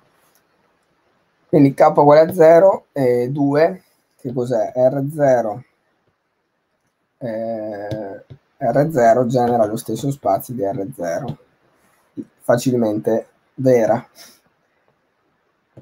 3, R0, no, P0 genera lo stesso spazio di R0 cosa che è vera perché per la scelta che abbiamo fatto della prima direzione coniugata, che è semplicemente la direzione di massima decrescita locale ad x con 0, ovvero l'opposto del residuo in uh, x con 0. Quindi chiaramente essendo il meno non rilevante da un punto di vista della direzione che definiamo, lo spazio che generiamo è lo stesso.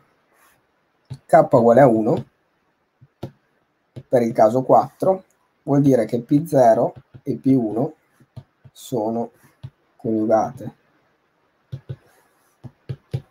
Cosa vera perché? Perché abbiamo costruito appositamente il metodo per far sì che una direzione sia coniugata alla successiva.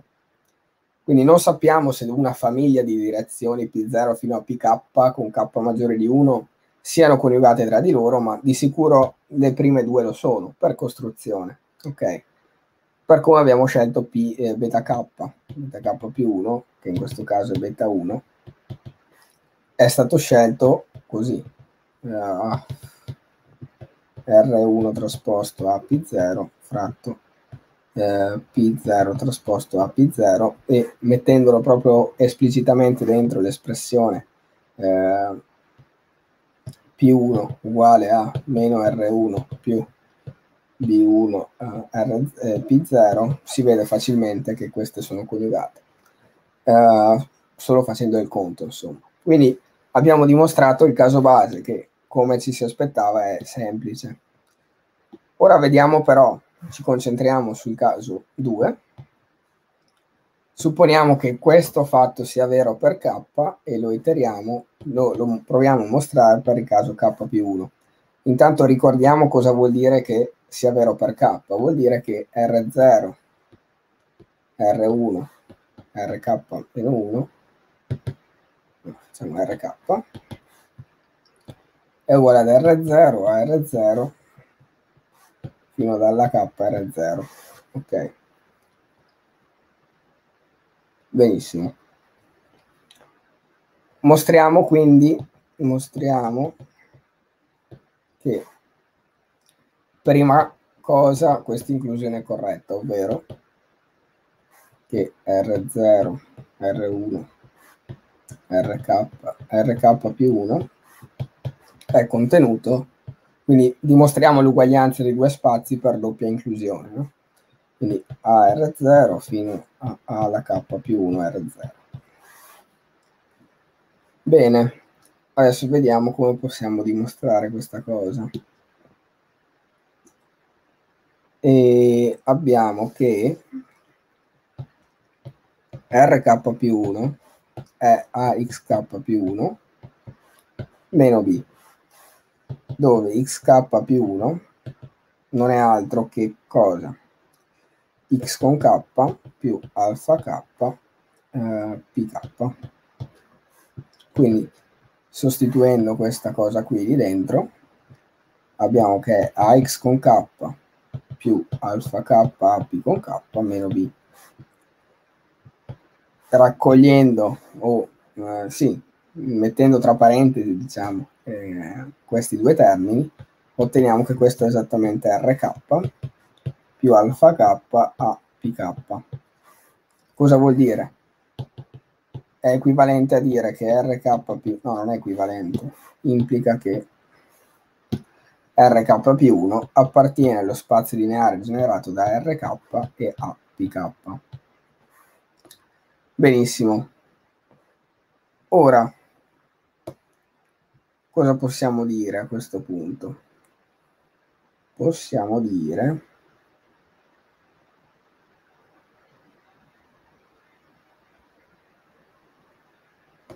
Ok, ok. Abbiamo comunque dimostrato, abbiamo supposto il caso eh, cappesimo. Ok, abbiamo il caso cappesimo per tu, anche per il secondo fatto, il terzo fatto, quindi anche per questo. Quindi vuol dire che sappiamo che anche P0 pk è uguale a R0 a R0 fino ad A alla K R0. Ciò cosa ci dice? Ci dice che pk in particolare appartiene da R0 a R0 fino ad alla K R0 e quindi APK sta in A per questo schifo qui, ovvero in AR0 fino ad alla k più 1 R0 e quindi possiamo concludere che RK più 1 appartiene a RK a R0 alla K più 1 R0 che è esattamente quello che volevamo perché sostanzialmente questo ci permette facilmente di concludere che R0 fino a RK più 1 è contenuto in R0 a R0 fino alla K più 1 R0. Benissimo. Quindi quantomeno fatta. Uh, ora mostriamo inclusione opposta, ovvero che R0 a R0 alla K più 1 R0 sia contenuto in R0, R1, RK più 1. Alla K più 1 R0 possiamo scriverlo in modo abbastanza ragionevole, così. Ah, così. Dove questo che cos'è che fa? Eh, per l'ipotesi induttiva questo appartiene, no, contenuto, ma appartiene a R0 fino a RK, no? Sì, sì. Vediamo se ci porta qualcosa questa cosa. Quindi questo appartiene a, a R0 fino a RK.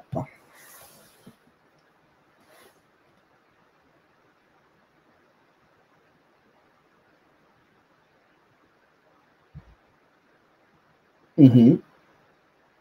Ok. Ma l'ipotesi induttiva è che che R0 a R0 fino alla K. Ah no, no, no, no, no, questo non ci aiuta.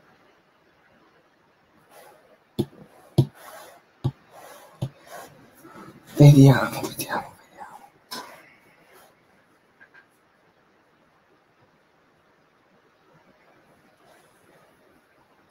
Mm-hmm.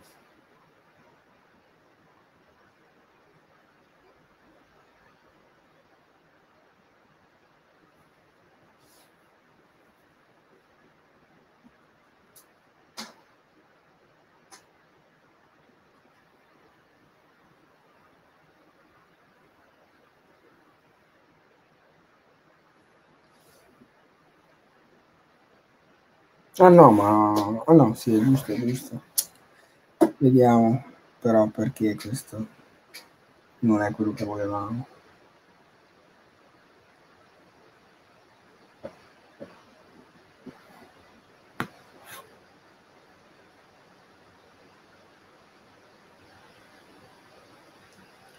Questa mi sembrava fosse più intuitiva della precedente, però adesso si vede che non, non mi arriva il pezzo giusto, l'idea giusta. Vediamo.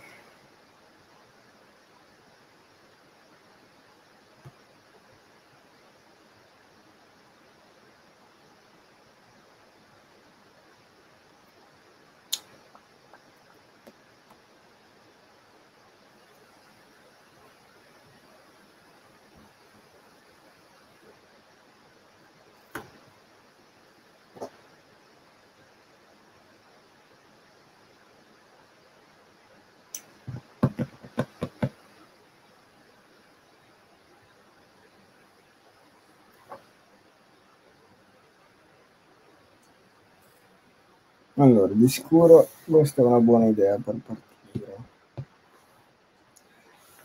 Poi, perché non ci permette di concludere questa?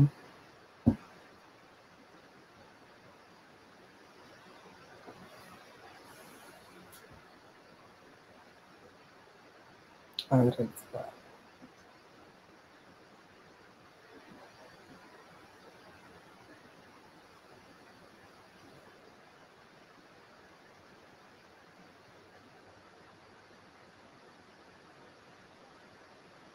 Mhm.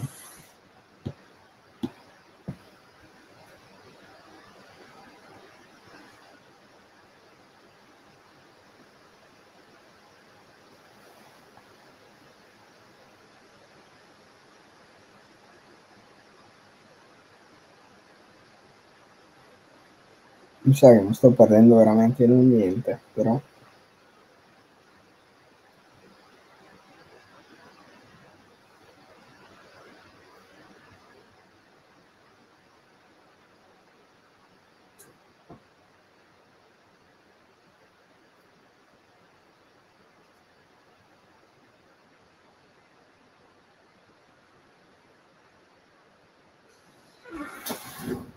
Ah, ah, ah.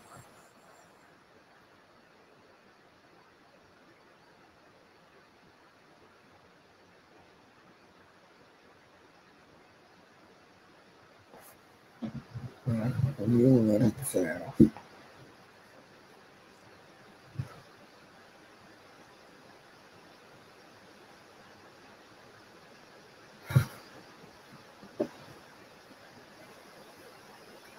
Eh, intanto piazziamo un punto di domanda, ci torno dopo. Se riesco a dimostrare questo, il 2 è fatta. Proviamo a dimostrare il 3 intanto. Dove si deve dimostrare che P0 pk più 1 è uguale ad R0 a R0 fino alla K più 1 R0 dove sappiamo che per ipotesi induttiva questa cosa è vera.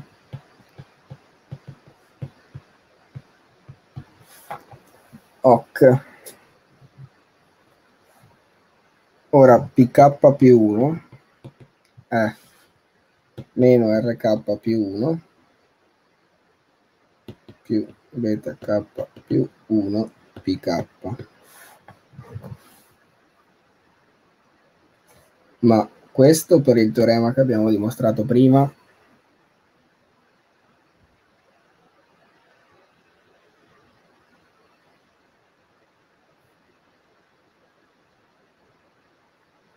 Mm-hmm. no, facciamo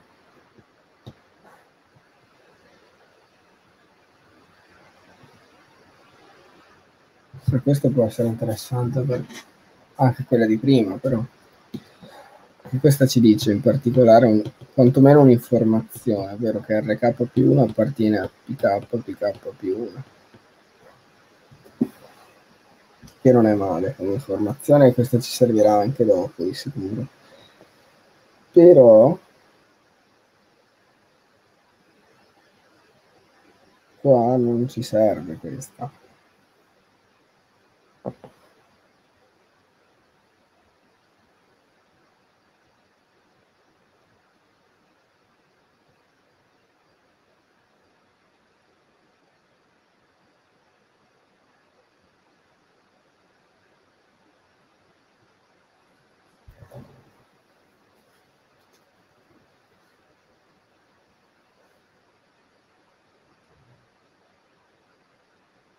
Ok, però questo dovrebbe essere più che sufficiente per concludere. Questo me la ricorderò per dopo. Eh, noi cos'è che sappiamo? Sappiamo che eh, resta sostanzialmente da dimostrare che aggiungendo pk più 1 a pk di 0 otteniamo. Eh, ciò sia aggiungendo a R0 a KR0 quello che è lo spazio generato da AK più 1 R0 comunque questo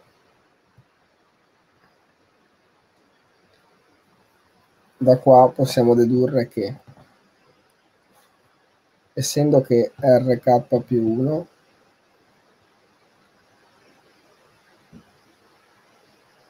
ok essendo che rk più 1 appartiene a, a, R, a R0 per il teorema per il fatto precedente R0 R0 alla k più 1 R0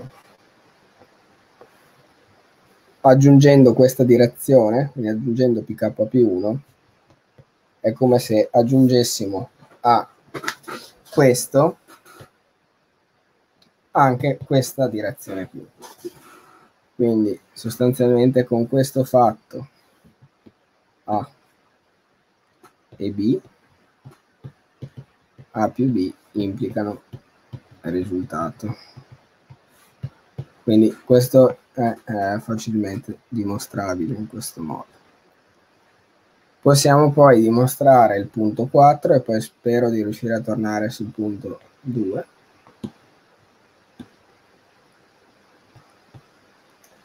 Eh, dimostriamo che P0 pk più 1 sono A coniugate sapendo che P0 pk lo sono. Quindi questa è l'ipotesi induttiva. Sostanzialmente cosa dobbiamo fare? Mostriamo che pk più 1 trasposto a p uguale a 0 per ogni i uguale a 0k. Punto 1. Se i è uguale a k, easy perché per costruzione pk trasposto a pk più 1 è 0. Supponiamo i minore di k. Quindi i uguale a 0, k meno 1. Bene. Ora possiamo usare il fatto di prima, credo. Sappiamo che pk più 1 trasposto, no, che pk più 1 è meno rk più 1 più beta k più 1 pk. Per cui pk più 1 trasposto pi minore di k è meno rk più 1 trasposto p più beta k più 1 pk trasposto pi. Però questo è 0 per ipotesi induttiva e questo è 0 per il precedente. Vabbè non so scrivere. Men che meno qui. Teorema. Perché abbiamo visto che i residui appartengono allo spazio ortogonale rispetto alle direzioni coniugate precedenti e quindi ciò vuol dire che eh, 4 vale anche per k 1 e ci siamo ora prima di tornare su 2 sarei tentato di provare a ricordare come dimostrare 1 che è anche quello abbastanza ostico. Proviamo. In realtà adesso fra un paio di minuti c'è la pausa, poi, eh, poi dovrei riuscire insomma a ricordarmi. Dobbiamo dimostrare che RK più 1 trasposto RI è uguale a 0 per ogni I uguale a 0 K.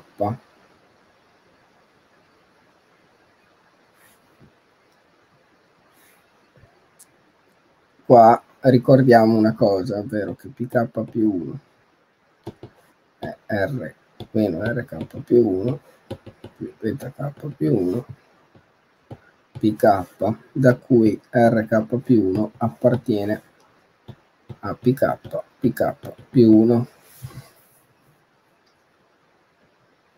ok. Sappiamo per ip induttiva che rk trasposto ri uguale a 0 per ogni i uguale a 0 k meno 1 questi sono i fatti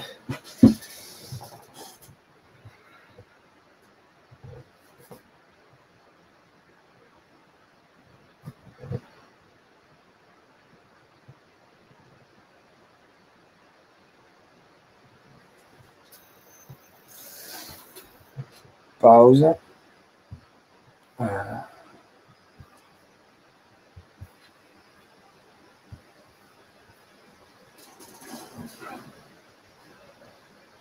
Personalmente sono trovato, sono abituato a trovare i minimi usando la derivata e non riesco a pensare ad altro metodo che questo. In questo problema mi pare che torniamo indietro. Cioè, per risolvere f' uguale a 0 mi ricondico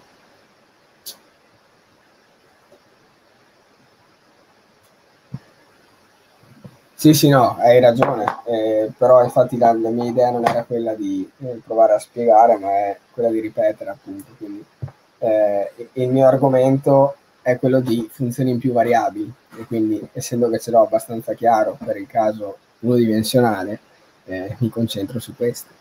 Comunque adesso esco un attimo e arrivo verso la fine della pausa, insomma.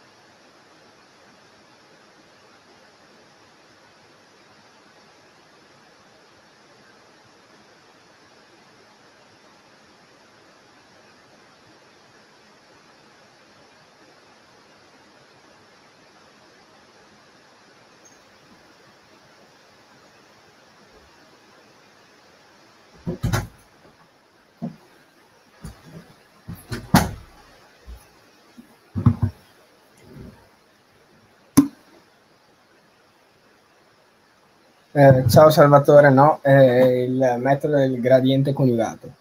Metodo del gradiente domani. Eh,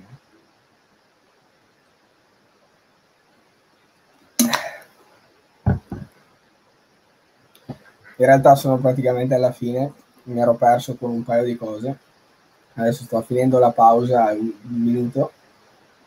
Penso mezz'ora massimo di cavarne, anche meno. Anche perché comunque è sera, sono a posto. Sono abbastanza contento finora, mi sono un po' perso in questa dimostrazione finale, però mh, mm, essendo che la prima volta che l'ho studiata seriamente è stata più di una settimana fa, ci sta, insomma. L'idea, insomma, de, di come studio è di riprendere le cose periodicamente, periodi sempre più distanziati, finché dopo diventa un po' più, più permanente, diciamo. Ok, adesso finisce la pausa.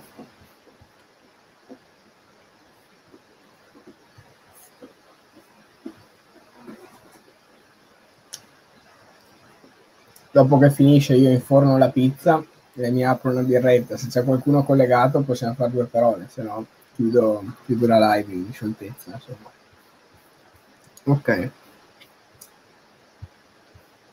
Aspetta che problema non avvio neanche il timer, tanto durerà meno. Ottimo. Allora, ci eravamo lasciati col dimostrare una relazione di ortogonalità tra i residui, che è questa qui, ovvero che RK più 1 trasposto RI è uguale a 0 per ogni i minore uguale di K. E com'è che possiamo dimostrare questo fatto? Beh, di sicuro ci sarà utile questo, ok? Poi ci sarà utile un altro risultato che ho nominato mentre enunciavo il teorema, ovvero che RK più 1 trasposto è ortogonale a P per ogni I minore di minore uguale di k.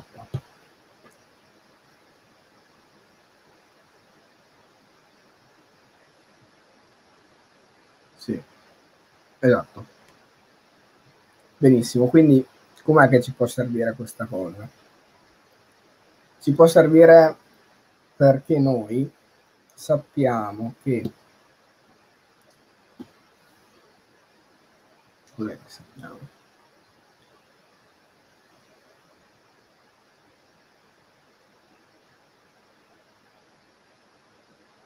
ok, sappiamo che per questa cosa è vera, o meglio, riscriviamo questa cosa in modo più ragionevole. RK, più utile più che ragionevole, o RI, appartiene allo spazio lineare generato da P, P meno 1. Questo è vero per ogni I uguale a 1 K. Ok, benissimo. Ora, com'è che questa cosa ci può venire utile?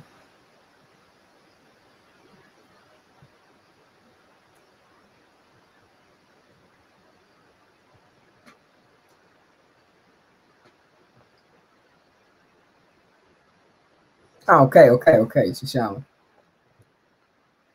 RK più 1 trasposto per RI sarà quindi RI possiamo scriverlo come uh, lambda 1 P più lambda 2 P meno 1 quindi è RK più 1 trasposto lambda 1 P più lambda 2 RK più 1 trasposto P meno 1 ma abbiamo che questo fatto è vero, quindi essendo che i è minore o uguale di k, in questo risultato che ci interessa, sappiamo che questo è uguale a 0 e che questo è uguale a 0, quindi tutto è uguale a 0. Ciò vuol dire che per ogni i uguale a 1 k, RK più 1 ah, RK più 1 trasposto RI è uguale a 0 che è quasi quello che volevamo manca il caso i uguale a 0 però perché l'abbiamo escluso cioè l'abbiamo escluso proprio per come abbiamo deciso di dimostrare il teorema ovvero basandoci su questa regola, la relazione qui insomma. E il caso è uguale a 1 però cos'è che abbiamo?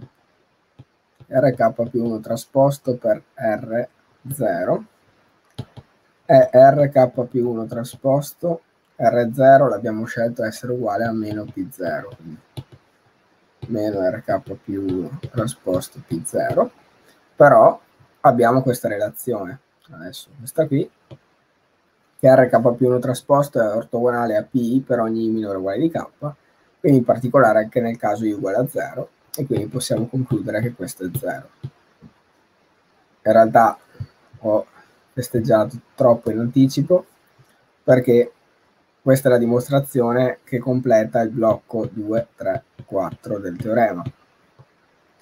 O meglio, 1, 3, 4. Ho lasciato in sospeso il blocco 2 perché non riuscivo prima a, ricorda- a ricordare come si poteva procedere nel dimostrare la seconda inclusione.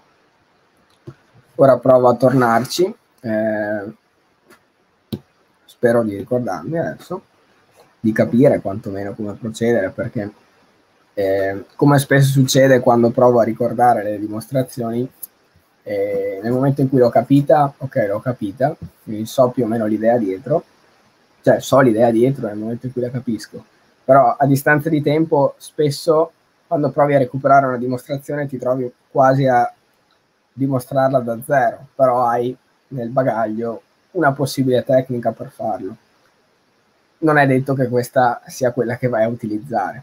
Comunque, ah, adesso quello che devo dimostrare è che R0 a R0 alla K più 1 R0 è contenuto in R0, R1, RK più 1.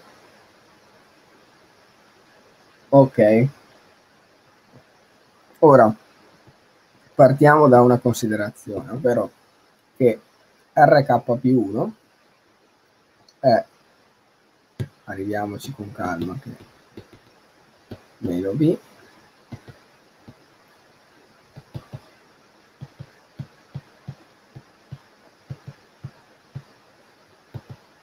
RK più alfa K APK.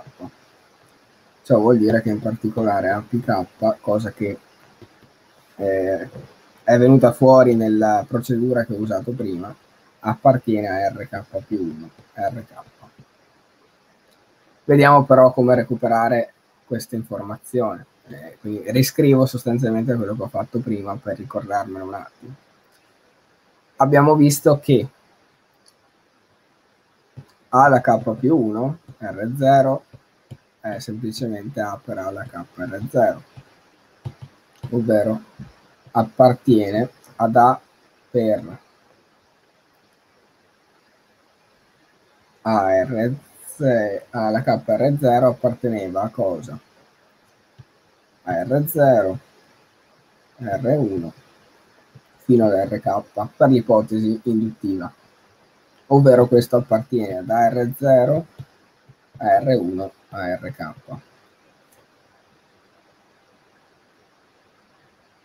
Questa cosa però, adesso che ci penso, non ci è troppo utile. Quello che può esserci utile invece è usare l'altra ipotesi induttiva, ovvero dire che appartiene alla stessa cosa, lo stesso spazio però generato dai P, dalle direzioni coniugate. Perché in questo modo possiamo sfruttare anche questa informazione qui, ok? Che sarà determinante per concludere, che adesso vedo la, la conclusione. Questo è quindi AP0, AP1, APK. Ma per eh, star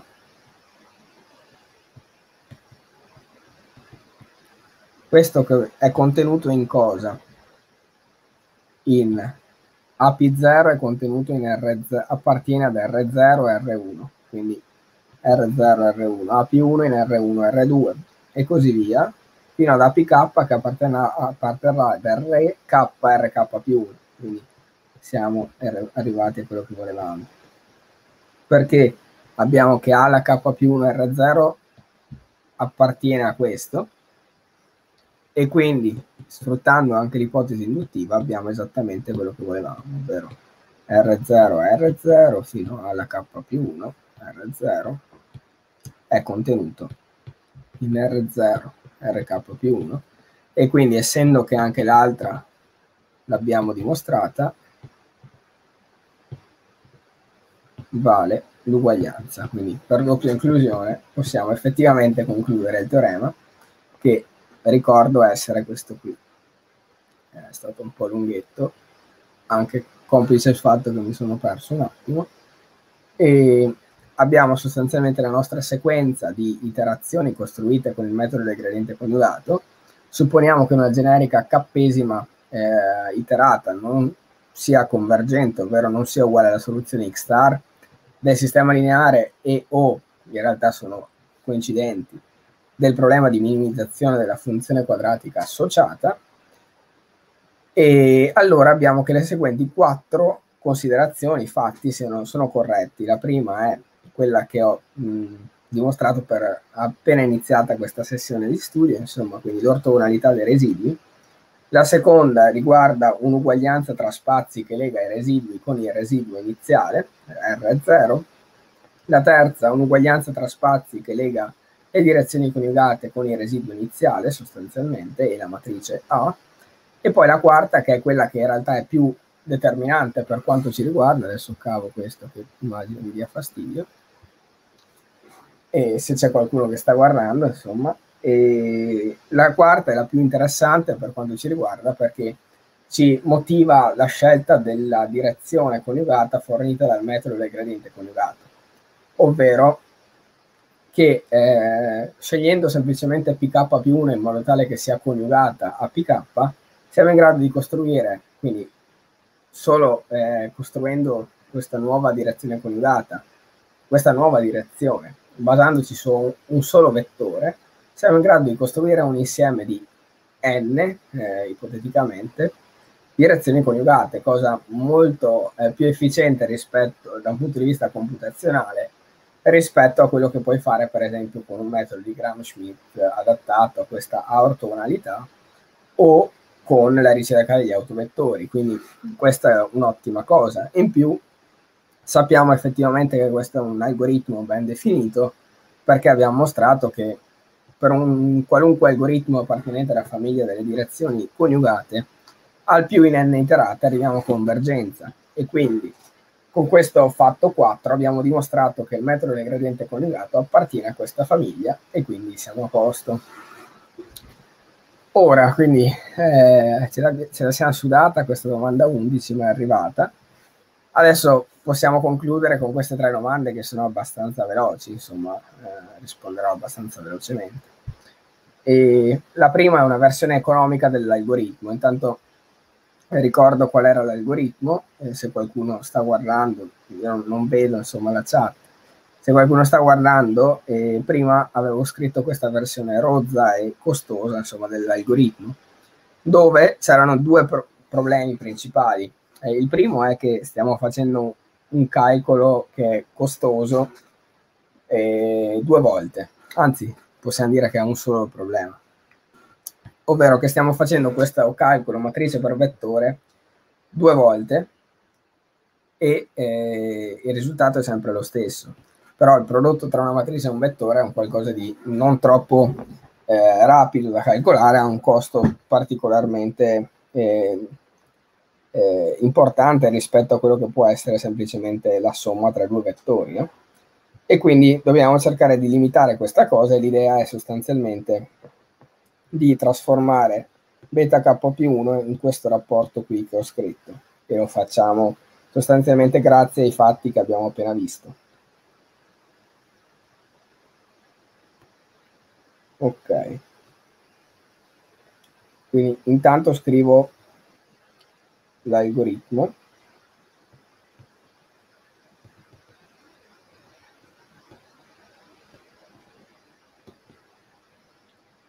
Quindi fisso la prima eh, iterata con il guess iniziale x con 0 in rn. Eh, fisso p0 la prima direzione a meno r0 che è anche meno il gradiente di φ di x con 0 e R0 quindi è sostanzialmente AX con 0 meno B. Ok, poi finché x con k è diverso da x star, dove a x star è uguale a b, quindi dove x star è la soluzione, cosa facciamo? Facciamo esattamente quello che abbiamo fatto prima, però con queste due accortezze, insomma. La prima cosa è calcolare alfa k e adesso mostreremo essere uguale a rk trasposto rk, pk trasposto a pk. Poi aggiorniamo la soluzione xk più 1 xk più alfa k pk. Calcoliamo il nuovo residuo, quindi rk più 1 è axk più 1 meno b. Calcoliamo beta k più 1 che adesso mostreremo che si può riscrivere in questa forma più compatta e economica perché non dobbiamo più fare un prodotto matrice per vettore ma semplicemente un prodotto cartesiano che in realtà è la norma di rk più 1 al quadrato fattore norma di rk al quadrato e poi aggiorniamo la direzione coniugata come da regola insomma come da eh, come dall'idea del metodo del gradiente coniugato. Meno RK più 1 più beta K più 1 e pk. Aggiorniamo K, lo incrementiamo di 1 e finiamo. Quindi questo è l'algoritmo. E adesso vediamo insomma come si può arrivare a riscrivere in alfa k prima di tutto da pk trasposto rk pk trasposto a pk in RK trasposto RK fratto PK trasposto a PK, quindi sostanzialmente vogliamo lavorare su questa cosa qui e capire se è uguale a RK trasposto RK. Come fare tutto ciò? Allora sappiamo che cos'è che sappiamo? Mm-hmm. Pk ok. Pk più 1 è meno rk più no questo non ci aiuta in nessun modo. Questo penso ci potrebbe aiutare. Pk è meno rk più beta k. Pk meno 1 ottimo. Poi Ciò vuol dire che meno pk trasposto rk è rk meno pk pk meno 1 trasposto rk ovvero rk trasposto rk meno beta k pk meno 1 trasposto rk Tuttavia questo è 0 per quanto abbiamo visto prima, ovvero che il residuo è ortogonale alle precedenti direzioni coniugate e quindi possiamo dire che questo è esattamente uguale a RK trasposto RK. Questo quantomeno ci permette di riscrivere alfa k come ho scritto nel teorema, quindi no, nel, nell'algoritmo più efficiente in questo modo. Qua c'è poco guadagno perché sostanzialmente passiamo da un, un certo prodotto, prodotto interno a un altro prodotto interno. Il guadagno è che sostanzialmente sappiamo che questo è zero dall'esterno, tra virgolette, quindi lo imponiamo e quindi abbiamo questo fatto qui. Però il guadagno principale lo abbiamo sfruttando questa informazione nella definizione di beta k più 1 beta k più 1 che eh, ricordo essere rk più 1 trasposto a pk fratto pk trasposto a pk dove il problema era appunto che questo compariva due volte inutilmente ed era costoso da calcolare. No? Come possiamo eh, risolvere il problema? Allora, un modo potenzialmente utile. Ok, possiamo fare così. RK più 1 abbiamo dimostrato essere uguale ad RK più alfa K a PK. Ci sta, questo è un buon metodo, credo. Quindi APK non è altro che RK più 1 meno RK fratto alfa K.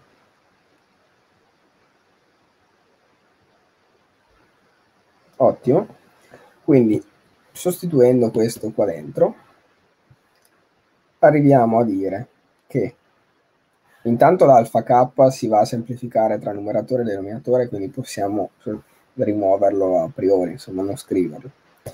rk più 1 trasposto per rk più 1 meno rk, fatto pk trasposto rk più 1 meno rk. Ora, possiamo già dire quantomeno che questo se ne va quando moltiplicato con questo per il teorema che abbiamo dimostrato, ovvero che i residui sono tra loro ortogonali. Quindi possiamo rimuoverlo e sopra abbiamo esattamente quello che volevamo, che è un ottimo guadagno. Sotto abbiamo cosa? Che intanto questo va a cancellarsi con questo, nel senso che il residuo RK più 1 è ortogonale alla precedente, quantomeno direzione coniugata, quindi possiamo ometterlo. Al denominatore cosa c'è? C'è esattamente questo che abbiamo dimostrato essere uguale a RK trasposto RK, quindi abbiamo quello che volevamo, ovvero una versione più efficiente del nostro algoritmo e economica quantomeno. Quindi abbiamo che la domanda 12 è fatta e possiamo concludere con la domanda 13 e 14 che sono vanno a braccetto, diciamo. Diciamo che nella 13 motiviamo il perché eh, sia interessante la 14. Ovvero, prima vediamo un paio di, di teoremi che però non vado a dimostrare eh, perché non, non, sono stati fatti a lezione, quindi eh, non sono andato a guardarmene, insomma, le dimostrazioni. E, però comunque di sicuro si possono trovare in qualunque libro, per esempio in Numerical Optimization di Nocedal, che è quello che seguiamo, insomma, di sicuro si può trovare la dimostrazione. Comunque, eh, essendo che non ho troppo tempo da dedicare al corso, eh, le ho, non, le, non le studio, insomma, queste dimostrazioni. Comunque, teorema 1. Adesso ci interessa sostanzialmente l'ordine di convergenza eh, del metodo. Cos'è che abbiamo? Il teorema 1, un fatto abbastanza parecchio interessante in quanto va a migliorare quel teorema che abbiamo visto un paio d'ore fa riguardo al fatto che un qualunque metodo di, delle direzioni coniugate in al più n iterazioni va a convergenza. In realtà possiamo dimostrare che il metodo del gradiente coniugato applicato a phi di x che è un mezzo x trasposto a x meno b trasposto x con a definita, simmetrica definita positiva e a con al più r autovalori chiaramente positivi distinti, converge in al più r iterazioni. Quindi sostanzialmente sappiamo che per particolari matrici, definite positive e simmetriche, eh, si può guadagnare in termini di iterazioni necessarie per convergere nel caso in cui ci siano meno di, di n autovalori distinti. Ok, chiaramente la matrice sarà comunque sempre diagonalizzabile in quanto simmetrica, quindi non è de- mh, comunque avremo che la molteplicità algebrica geometrica di questi autovalori coincide, però potrebbe succedere tranquillamente che la matrice rimanga diagonalizzabile in quanto simmetrica, però abbia alcuni autovalori che coincidono, insomma. Saranno tutti reali anche chiaramente. Teorema 2, che è quello che motiverà l'ultima domanda, poi eh, chiudo sostanzialmente. E supponiamo di costruire eh, le iterazioni del gradiente coniugato x con k k uguale a 0 n e di risolvere no facciamo così per il problema eh, sempre con la min x in rn di x phi di x è sempre quella di prima funzione quadratica con strettamente convessa e quant'altro, quindi A SPD. Supponiamo che A x star uguale a B, ovvero x star risolve il problema star, allora per ogni k sensata, per quello che andrò a scrivere, cosa abbiamo? Abbiamo che xk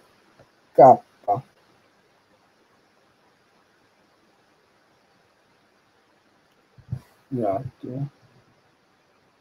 Ok, si dovrebbe essere corretto. Xk meno x star, quindi sostanzialmente quanta strada mi manca all'iterazione cappesima per arrivare a convergere, misurata rispetto alla norma definita dalla matrice A, dove ricordo che per un vettore la norma definita dalla matrice A non è altro che questo, questo è il quadrato, è minore o uguale di una certa costante che adesso andrò a scrivere al quadrato per la distanza che avevamo all'iterata 0 al quadrato anche lei. Qui abbiamo una differenza misurata in termini di autovalori della matrice A. Chiamiamo lambda 1 minore o uguale di lambda 2 minore o uguale di lambda n gli autovalori di A. Abbiamo che lambda n meno k meno lambda 1 fratto lambda n meno k più lambda 1 sarà questa costante. Ok? Quindi sostanzialmente questa ci dà un'idea anche di quale sia eh, la capacità contrattiva che ha il nostro metodo del gradiente in base a come è fatta la matrice A. Ovvero più è alta la differenza sostanzialmente tra l'autovalore massimo e l'autovalore minimo, più possiamo aspettarci eh, o comunque più sono sparsi eh, gli autovalori nello spazio del, dei numeri reali positivi, più possiamo avere un comportamento meno eh, peggiore, insomma, in termini di convergenza del nostro metodo. Quindi gli autovalori svolgono un ruolo determinante in termini di convergenza di questo metodo e di velocità di convergenza. Per cui possiamo essere interessati a lavorare esternamente su questi autovalori. Ed ecco quindi che arriva l'ultima domanda, che con questa concludo insomma, mia, eh, il mio ripasso di questo metodo del gradiente coniugato, delle direzioni coniugate più in generale. Andiamo a introdurre il concetto di precondizionamento.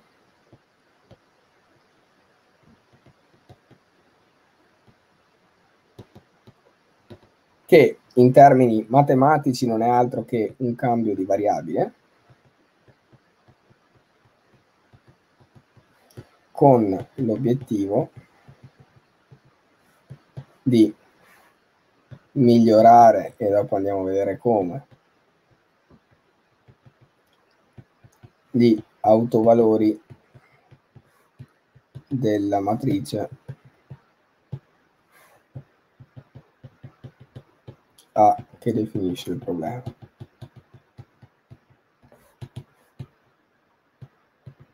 In realtà il precondizionamento è una tecnica numerica non usata solamente per rimettere le gradiente coniugate, chiaramente. È usato per risolvere sistemi lineari eh, in generale e per altre situazioni, insomma e sostanzialmente ha l'obiettivo di migliorare il numero di condizionamento della matrice, che è in qualche modo legato agli autovalori di questa, però comunque adesso ci limitiamo a vedere in termini quantomeno intuitivi come questo può aiutare per il metodo del gradiente coniugato. Quindi sostanzialmente alla stregua del cambio di variabili che abbiamo fatto sopra per vedere l'intuizione geometrica del eh, metodo del gradiente coniugato, ma in realtà delle direzioni coniugate in generale, definiamo questo cambio di variabile c alla meno 1 x uguale a x hat, che sarà la nostra nuova variabile. E eh, C sarà una matrice che adesso vedremo come ha, ha senso costruirla. Insomma. Ci sono vari precondizionatori da utilizzare, sono quelli prettamente diagonali, eh, diagonali a blocchi, eh, ci sono tante famiglie di precondizionatori e non, non vado a nominarle in questo momento, insomma.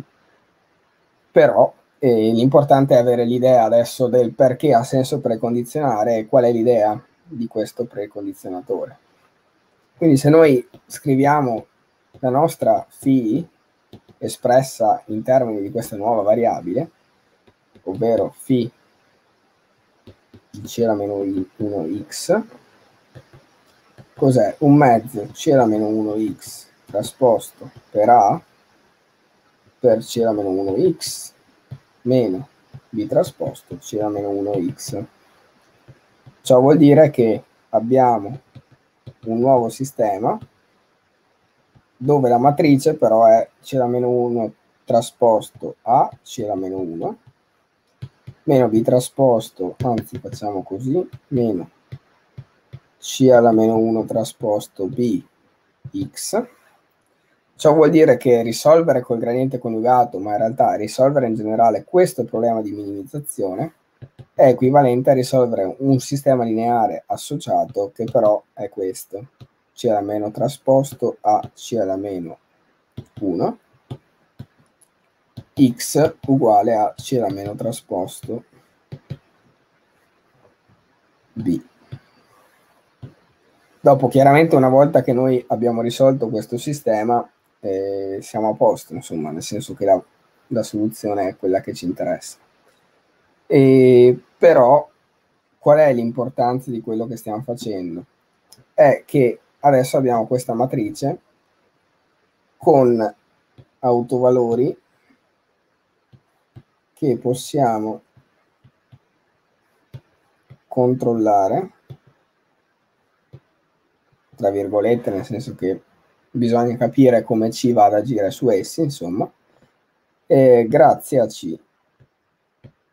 E quindi l'idea di questo precondizionatore, il precondizionare in generale, è quello di scegliere il precondizionatore C in maniera opportuna per far sì che gli autovalori di questa nuova matrice vadano a migliorare in termini di magnitudine, di eh, grandezza, questi coefficienti, quindi eh, rendano più bassi sostanzialmente questi coefficienti così da migliorare la convergenza del metodo. Quindi niente, questo era un po' quello che volevo dire oggi, sono contento insomma di come è andata, adesso chiudo.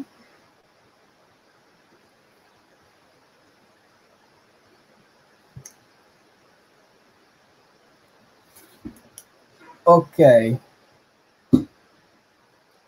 E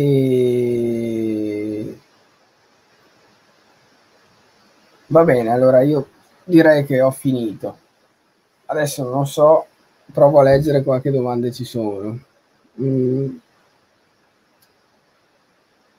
Ah, quindi si lavora con un prodotto interno indotto da una matrice simmetrica, eh, da una vita che non tratta... Esatto, comunque, quella è l'idea. E infatti, come hai visto, quantomeno alla fine ho usato quella matrice e si poteva fare sostanzialmente tutto quello che ho fatto parlando di prodotto interno definito dalla matrice e quindi direzioni coniugate diventano semplicemente vettori ortogonali rispetto a questo prodotto interno. E sì, è la norma di al quadrato, esatto. Interessante, grazie, prego. Eh, non so se, se hai l'idea di, di quali, quali, sia l'obiettivo insomma, di queste dirette, cioè io non, non, ho l'obiettivo di insegnare, l'ho detto un paio tante volte, insomma, ma questo è semplicemente un corso che io sto seguendo, eh, qui devo seguirne quattro nel corso dei quattro anni, e uno di quelli che ho scelto è questa ottimizzazione numerica, che è un corso della magistrale in realtà di qui, eh, sto seguendo e farò l'esame a maggio. Ho deciso di unire un po' l'utile al, l'utile per me all'utile potenzialmente per chi segue il canale, ovvero studiare come faccio di solito, però in diretta, così che sostanzialmente io ripeto tranquillamente, vado avanti con lo studio.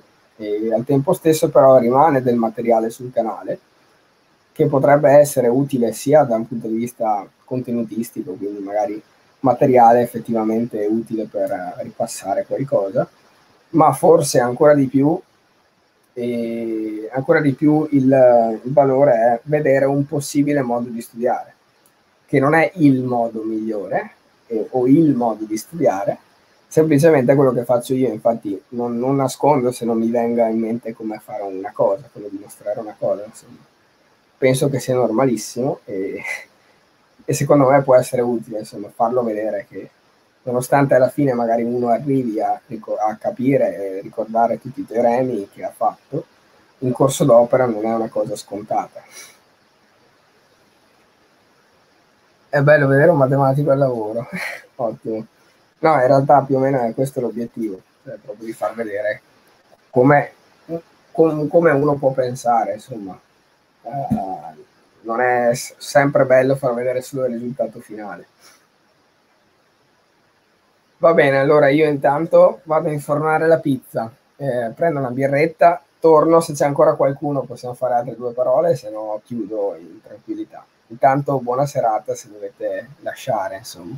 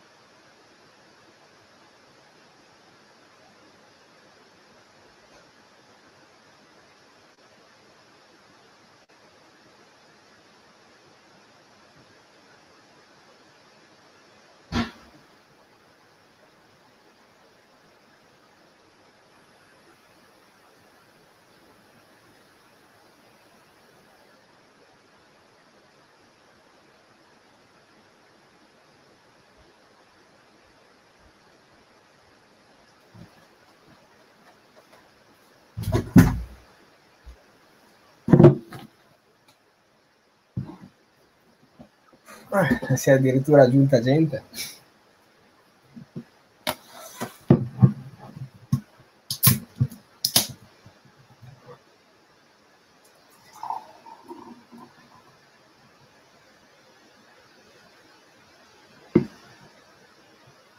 Ho fatto domande anche, aspetta allora che guardo.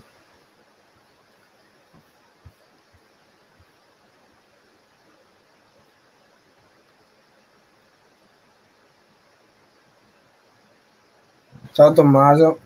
Ah, proprio si sta aggiungendo gente, vabbè. Ottimo.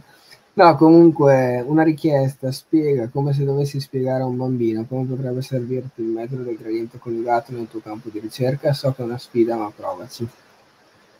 E... Ok, eh, adesso vado a vedere su. Comunque mi sa che avevo risposto prima, eh, non so se è ricollegato o meno.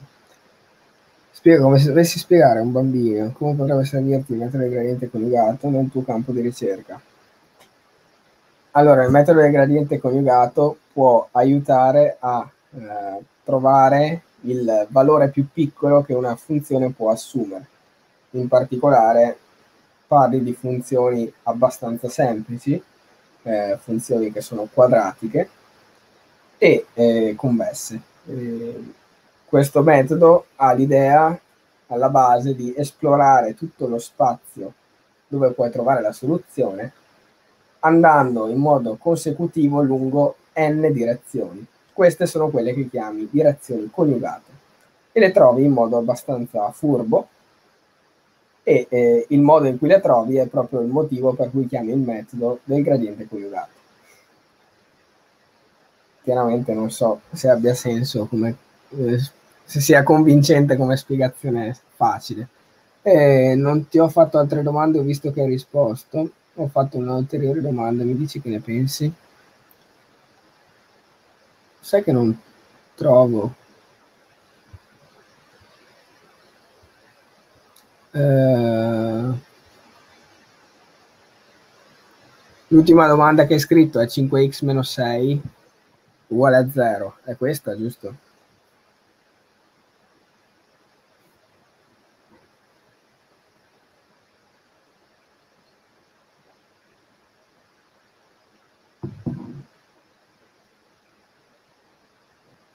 Non so, non so se fosse questa la domanda o fosse qualc- qualcos'altro.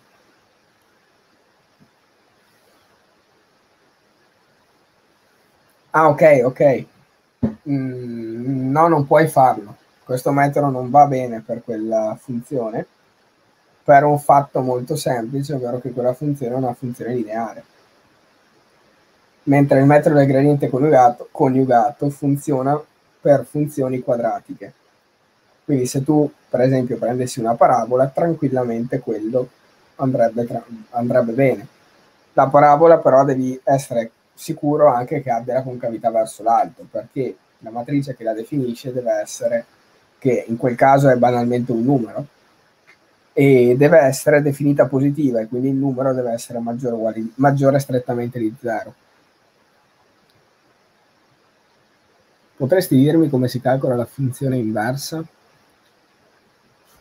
Eh, allora, in generale, esplicitamente è un qualcosa di difficile da calcolare la funzione inversa.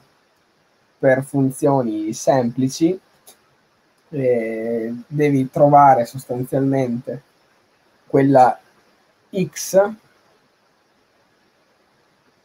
che ti permette tramite l'applicazione di f di trovare y.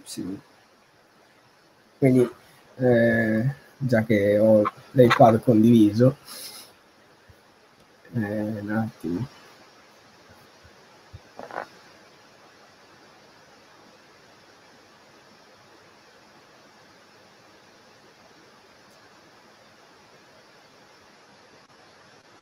Ah. Se facciamo un esempio di f di x, partiamo da caso semplice, 7x più 3, quindi una funzione lineare, f è la meno 1 di x, è una funzione che in realtà possiamo chiamare g di x, tale che g di y è uguale a x sostanzialmente. Ma per ricavarla, cos'è che possiamo fare in termini proprio concreti, concreti? Se tu scrivi y che è uguale a 7x più, più 3, tu devi isolare da un lato la x e dall'altro tutto il resto, quindi y meno 3 uguale a 7x, poi y meno 3 fratto 7 uguale a x. Dopo, per comodità, siccome siamo abituati, ah, si, vede, si vede anche male questo colore, aspetta. Per comodità, siccome di solito siamo abituati a scrivere come variabile indipendente la x, questa sarà la nostra g di y in realtà, perché la variabile indipendente a sinistra è la y. Siccome appunto siamo abituati a mettere come variabile indipendente la x, chiami g di x, che è l'inversa, che è l'inversa, è x meno 3 fratto 7. Puoi farlo per esempi più complicati, tipo f di x uguale al logaritmo, logaritmo naturale di x, ln di x uguale ad y, quindi e alla ln di x uguale alla y, quindi x uguale alla y. Quindi l'inversa del logaritmo è l'esponenziale. L'idea è questa. Il problema qual è? Il problema è che solitamente se a y uguale ad f di x, quello che dovresti fare è trovare una, una g tale che g di y, se applichi g a sinistra e a destra,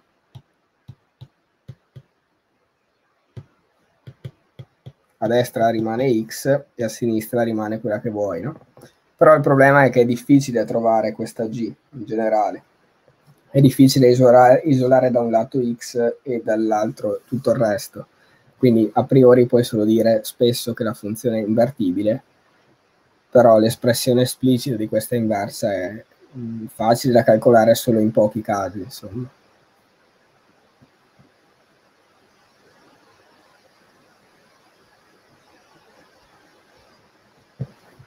Ah, ok, ok. Eh, allora, se tu intendi risolvere quel problema in termini di sistema lineare, sì.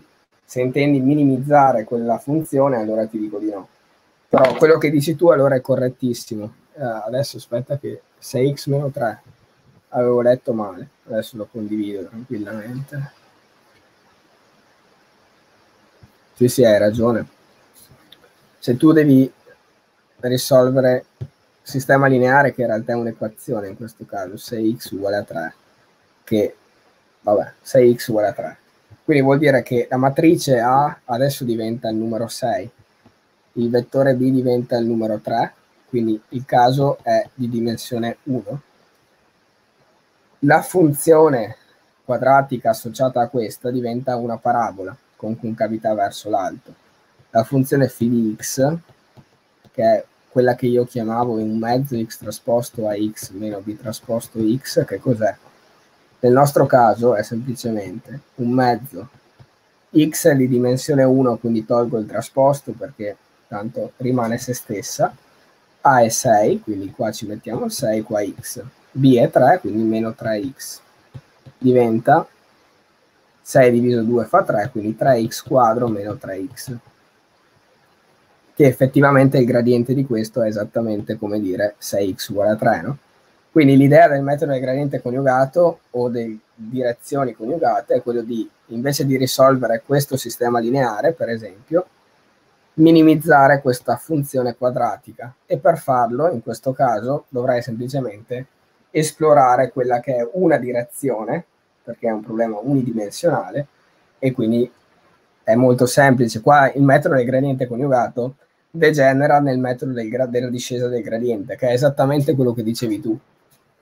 E infatti il caso n uguale a 1, essendo che come prima direzione coniugata fissiamo p0 uguale a meno r0, che è meno il gradiente di φ in x con 0, l'unica iterazione che andrei a fare, visto che il metodo è convergine esattamente un'iterata, eh, è x con 0 più alfa 0 P0, ma P0 è questo, quindi il metodo è esattamente quello della discesa del gradiente nel caso semplice n uguale a 1. Quindi diciamo che il beneficio di usare questo metodo un po' eh, che va a fare compromessi col metodo della discesa del gradiente e, e a essere più efficace spesso è, eh, lo vedi nel caso di dimensione più grande di 1 Comunque, come esempio, va benissimo questo per capire cosa stai facendo, insomma. Però hai poca eh, percezione dei benefici, appunto. Quello che ti consiglio è magari di lavorare, per farti un esempietto, su un caso comunque semplice, però di dimensione 2. E, per esempio, studi eh, la matrice uh, 2, 1, 0, 3, vettore B, 1, 1. Questa è una matrice definita, no, non è simmetrica però, sono scemo. Quindi facciamo così, così sono gli autovalori. Questa è una matrice simmetrica e definita positiva, ok? Quindi se tu studi il sistema lineare a x uguale a b, questo è come risolvere x tras min x in Rn, R2, x trasposto a x meno b trasposto x. E qui può essere interessante effettivamente, nonostante sia un esempio particolare, vedere i benefici del metodo del gradiente coniugato rispetto a quello del gradiente, perché effettivamente qui usi quantomeno due direzioni coniugate e non una, e la seconda a priori non è meno il gradiente di φ in x1, ma appartiene però allo spazio lineare generato da questo e da P0, eh, no, e da P0, esatto. E quindi è questo l'importante, ovvero che dalla prima iterata in poi hai un, un comportamento diverso rispetto a quello del gradiente, e la discesa del gradiente, insomma.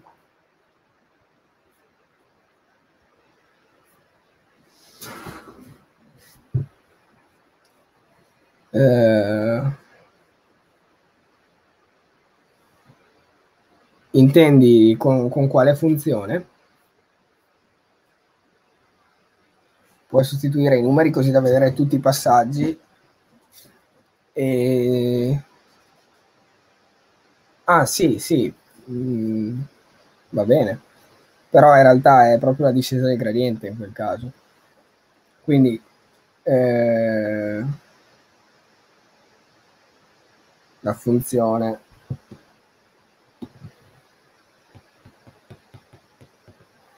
era.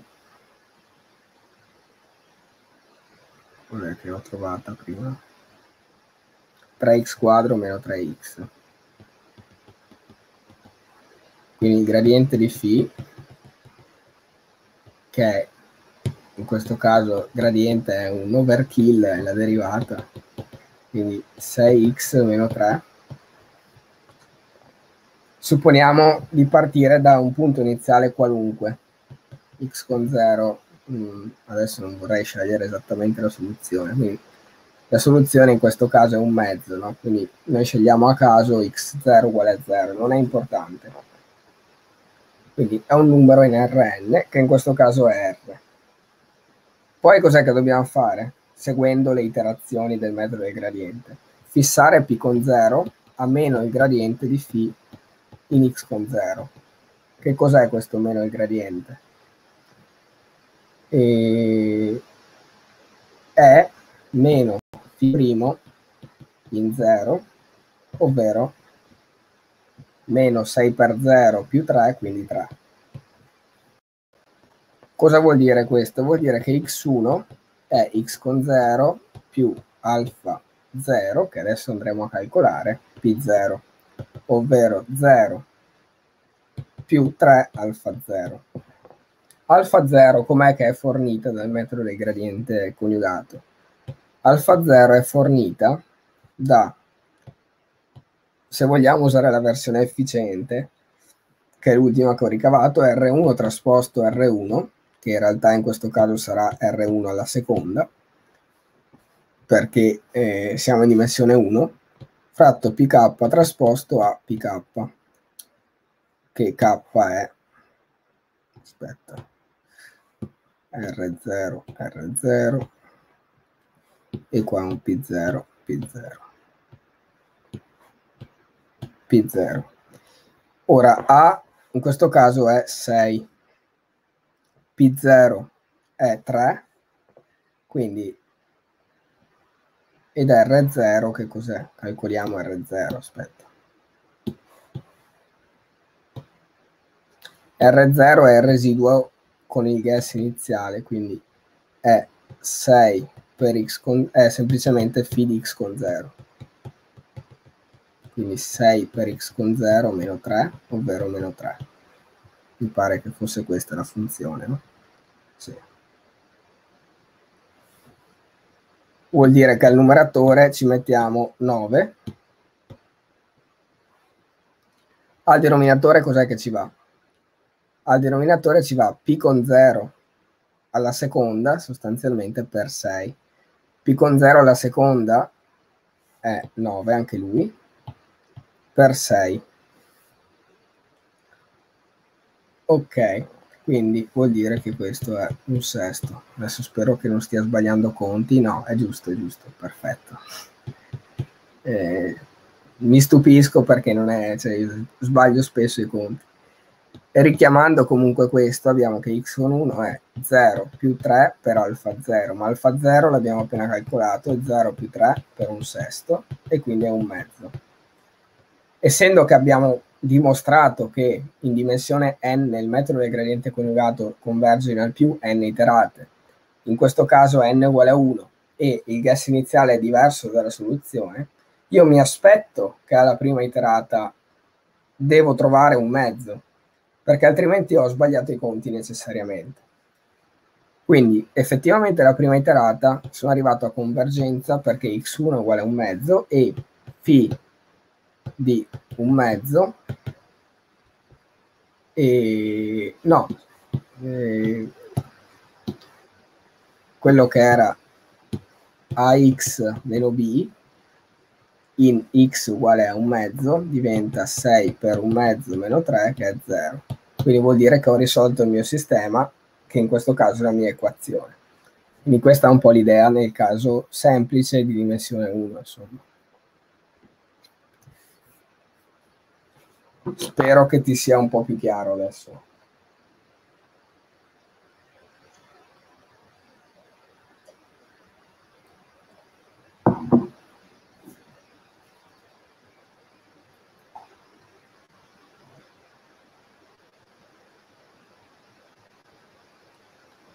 Dovrebbe essere 3x alla seconda meno 3x esatto. Sì, sì, sì, sì. Però il gradiente di phi in un mezzo è 0, quindi essendo che lei è una funzione convessa e definita co strettamente convessa, e tutti è sol- ha solo un punto critico e questo è il minimo globale. Se noi vediamo che il gradiente di phi, quindi la derivata di phi in un mezzo fa 0, abbiamo finito e effettivamente la derivata di quello è 6x meno 3 e in un mezzo fa 0, quindi effettivamente abbiamo trovato il nostro minimo come, come volevamo insomma.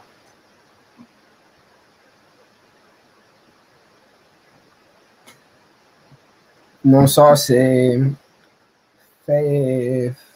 Phasy Cup per te è chiaro, insomma, spero di sì. Sono d'accordissimo con te sul fatto che è importante partire con gli esempi in dimensione bassa, semplice, di cui sai fare anche i conti con altri modi, e così da capire insomma come il metodo funziona. Qui forse ti consiglio, una volta che hai capito questo, se ti interessa, di provare quel caso quantomeno in dimensione 2, perché è più, più carino e capisci meglio. Esatto, sì, sì, sì, sì, sì, sì qualunque sia il gas iniziale, a meno che tu non parta esattamente da un mezzo, allora li convergi subito. Il teorema che abbiamo dimostrato ti dice che qualunque sia la condizione iniziale, eh, il gas iniziale, in al più n iterazioni arrivi a convergere. Qua n è 1, quindi o in 0 o in 1 iterazioni finisci. Magari prova col caso meno 100, funziona, eh, non, non, ci piove che, deve, che funzioni, insomma però magari ci sta una che può sembrare strano, quindi prova tranquillamente. Va bene, allora direi che possiamo chiudere qui. Eh, aspetta, io prendo un numero a caso, lo inserisco in questo frullatore di metodo e prima o poi arrivo alla soluzione. Ce ne sono molti altri di metodi, sì, molti altri.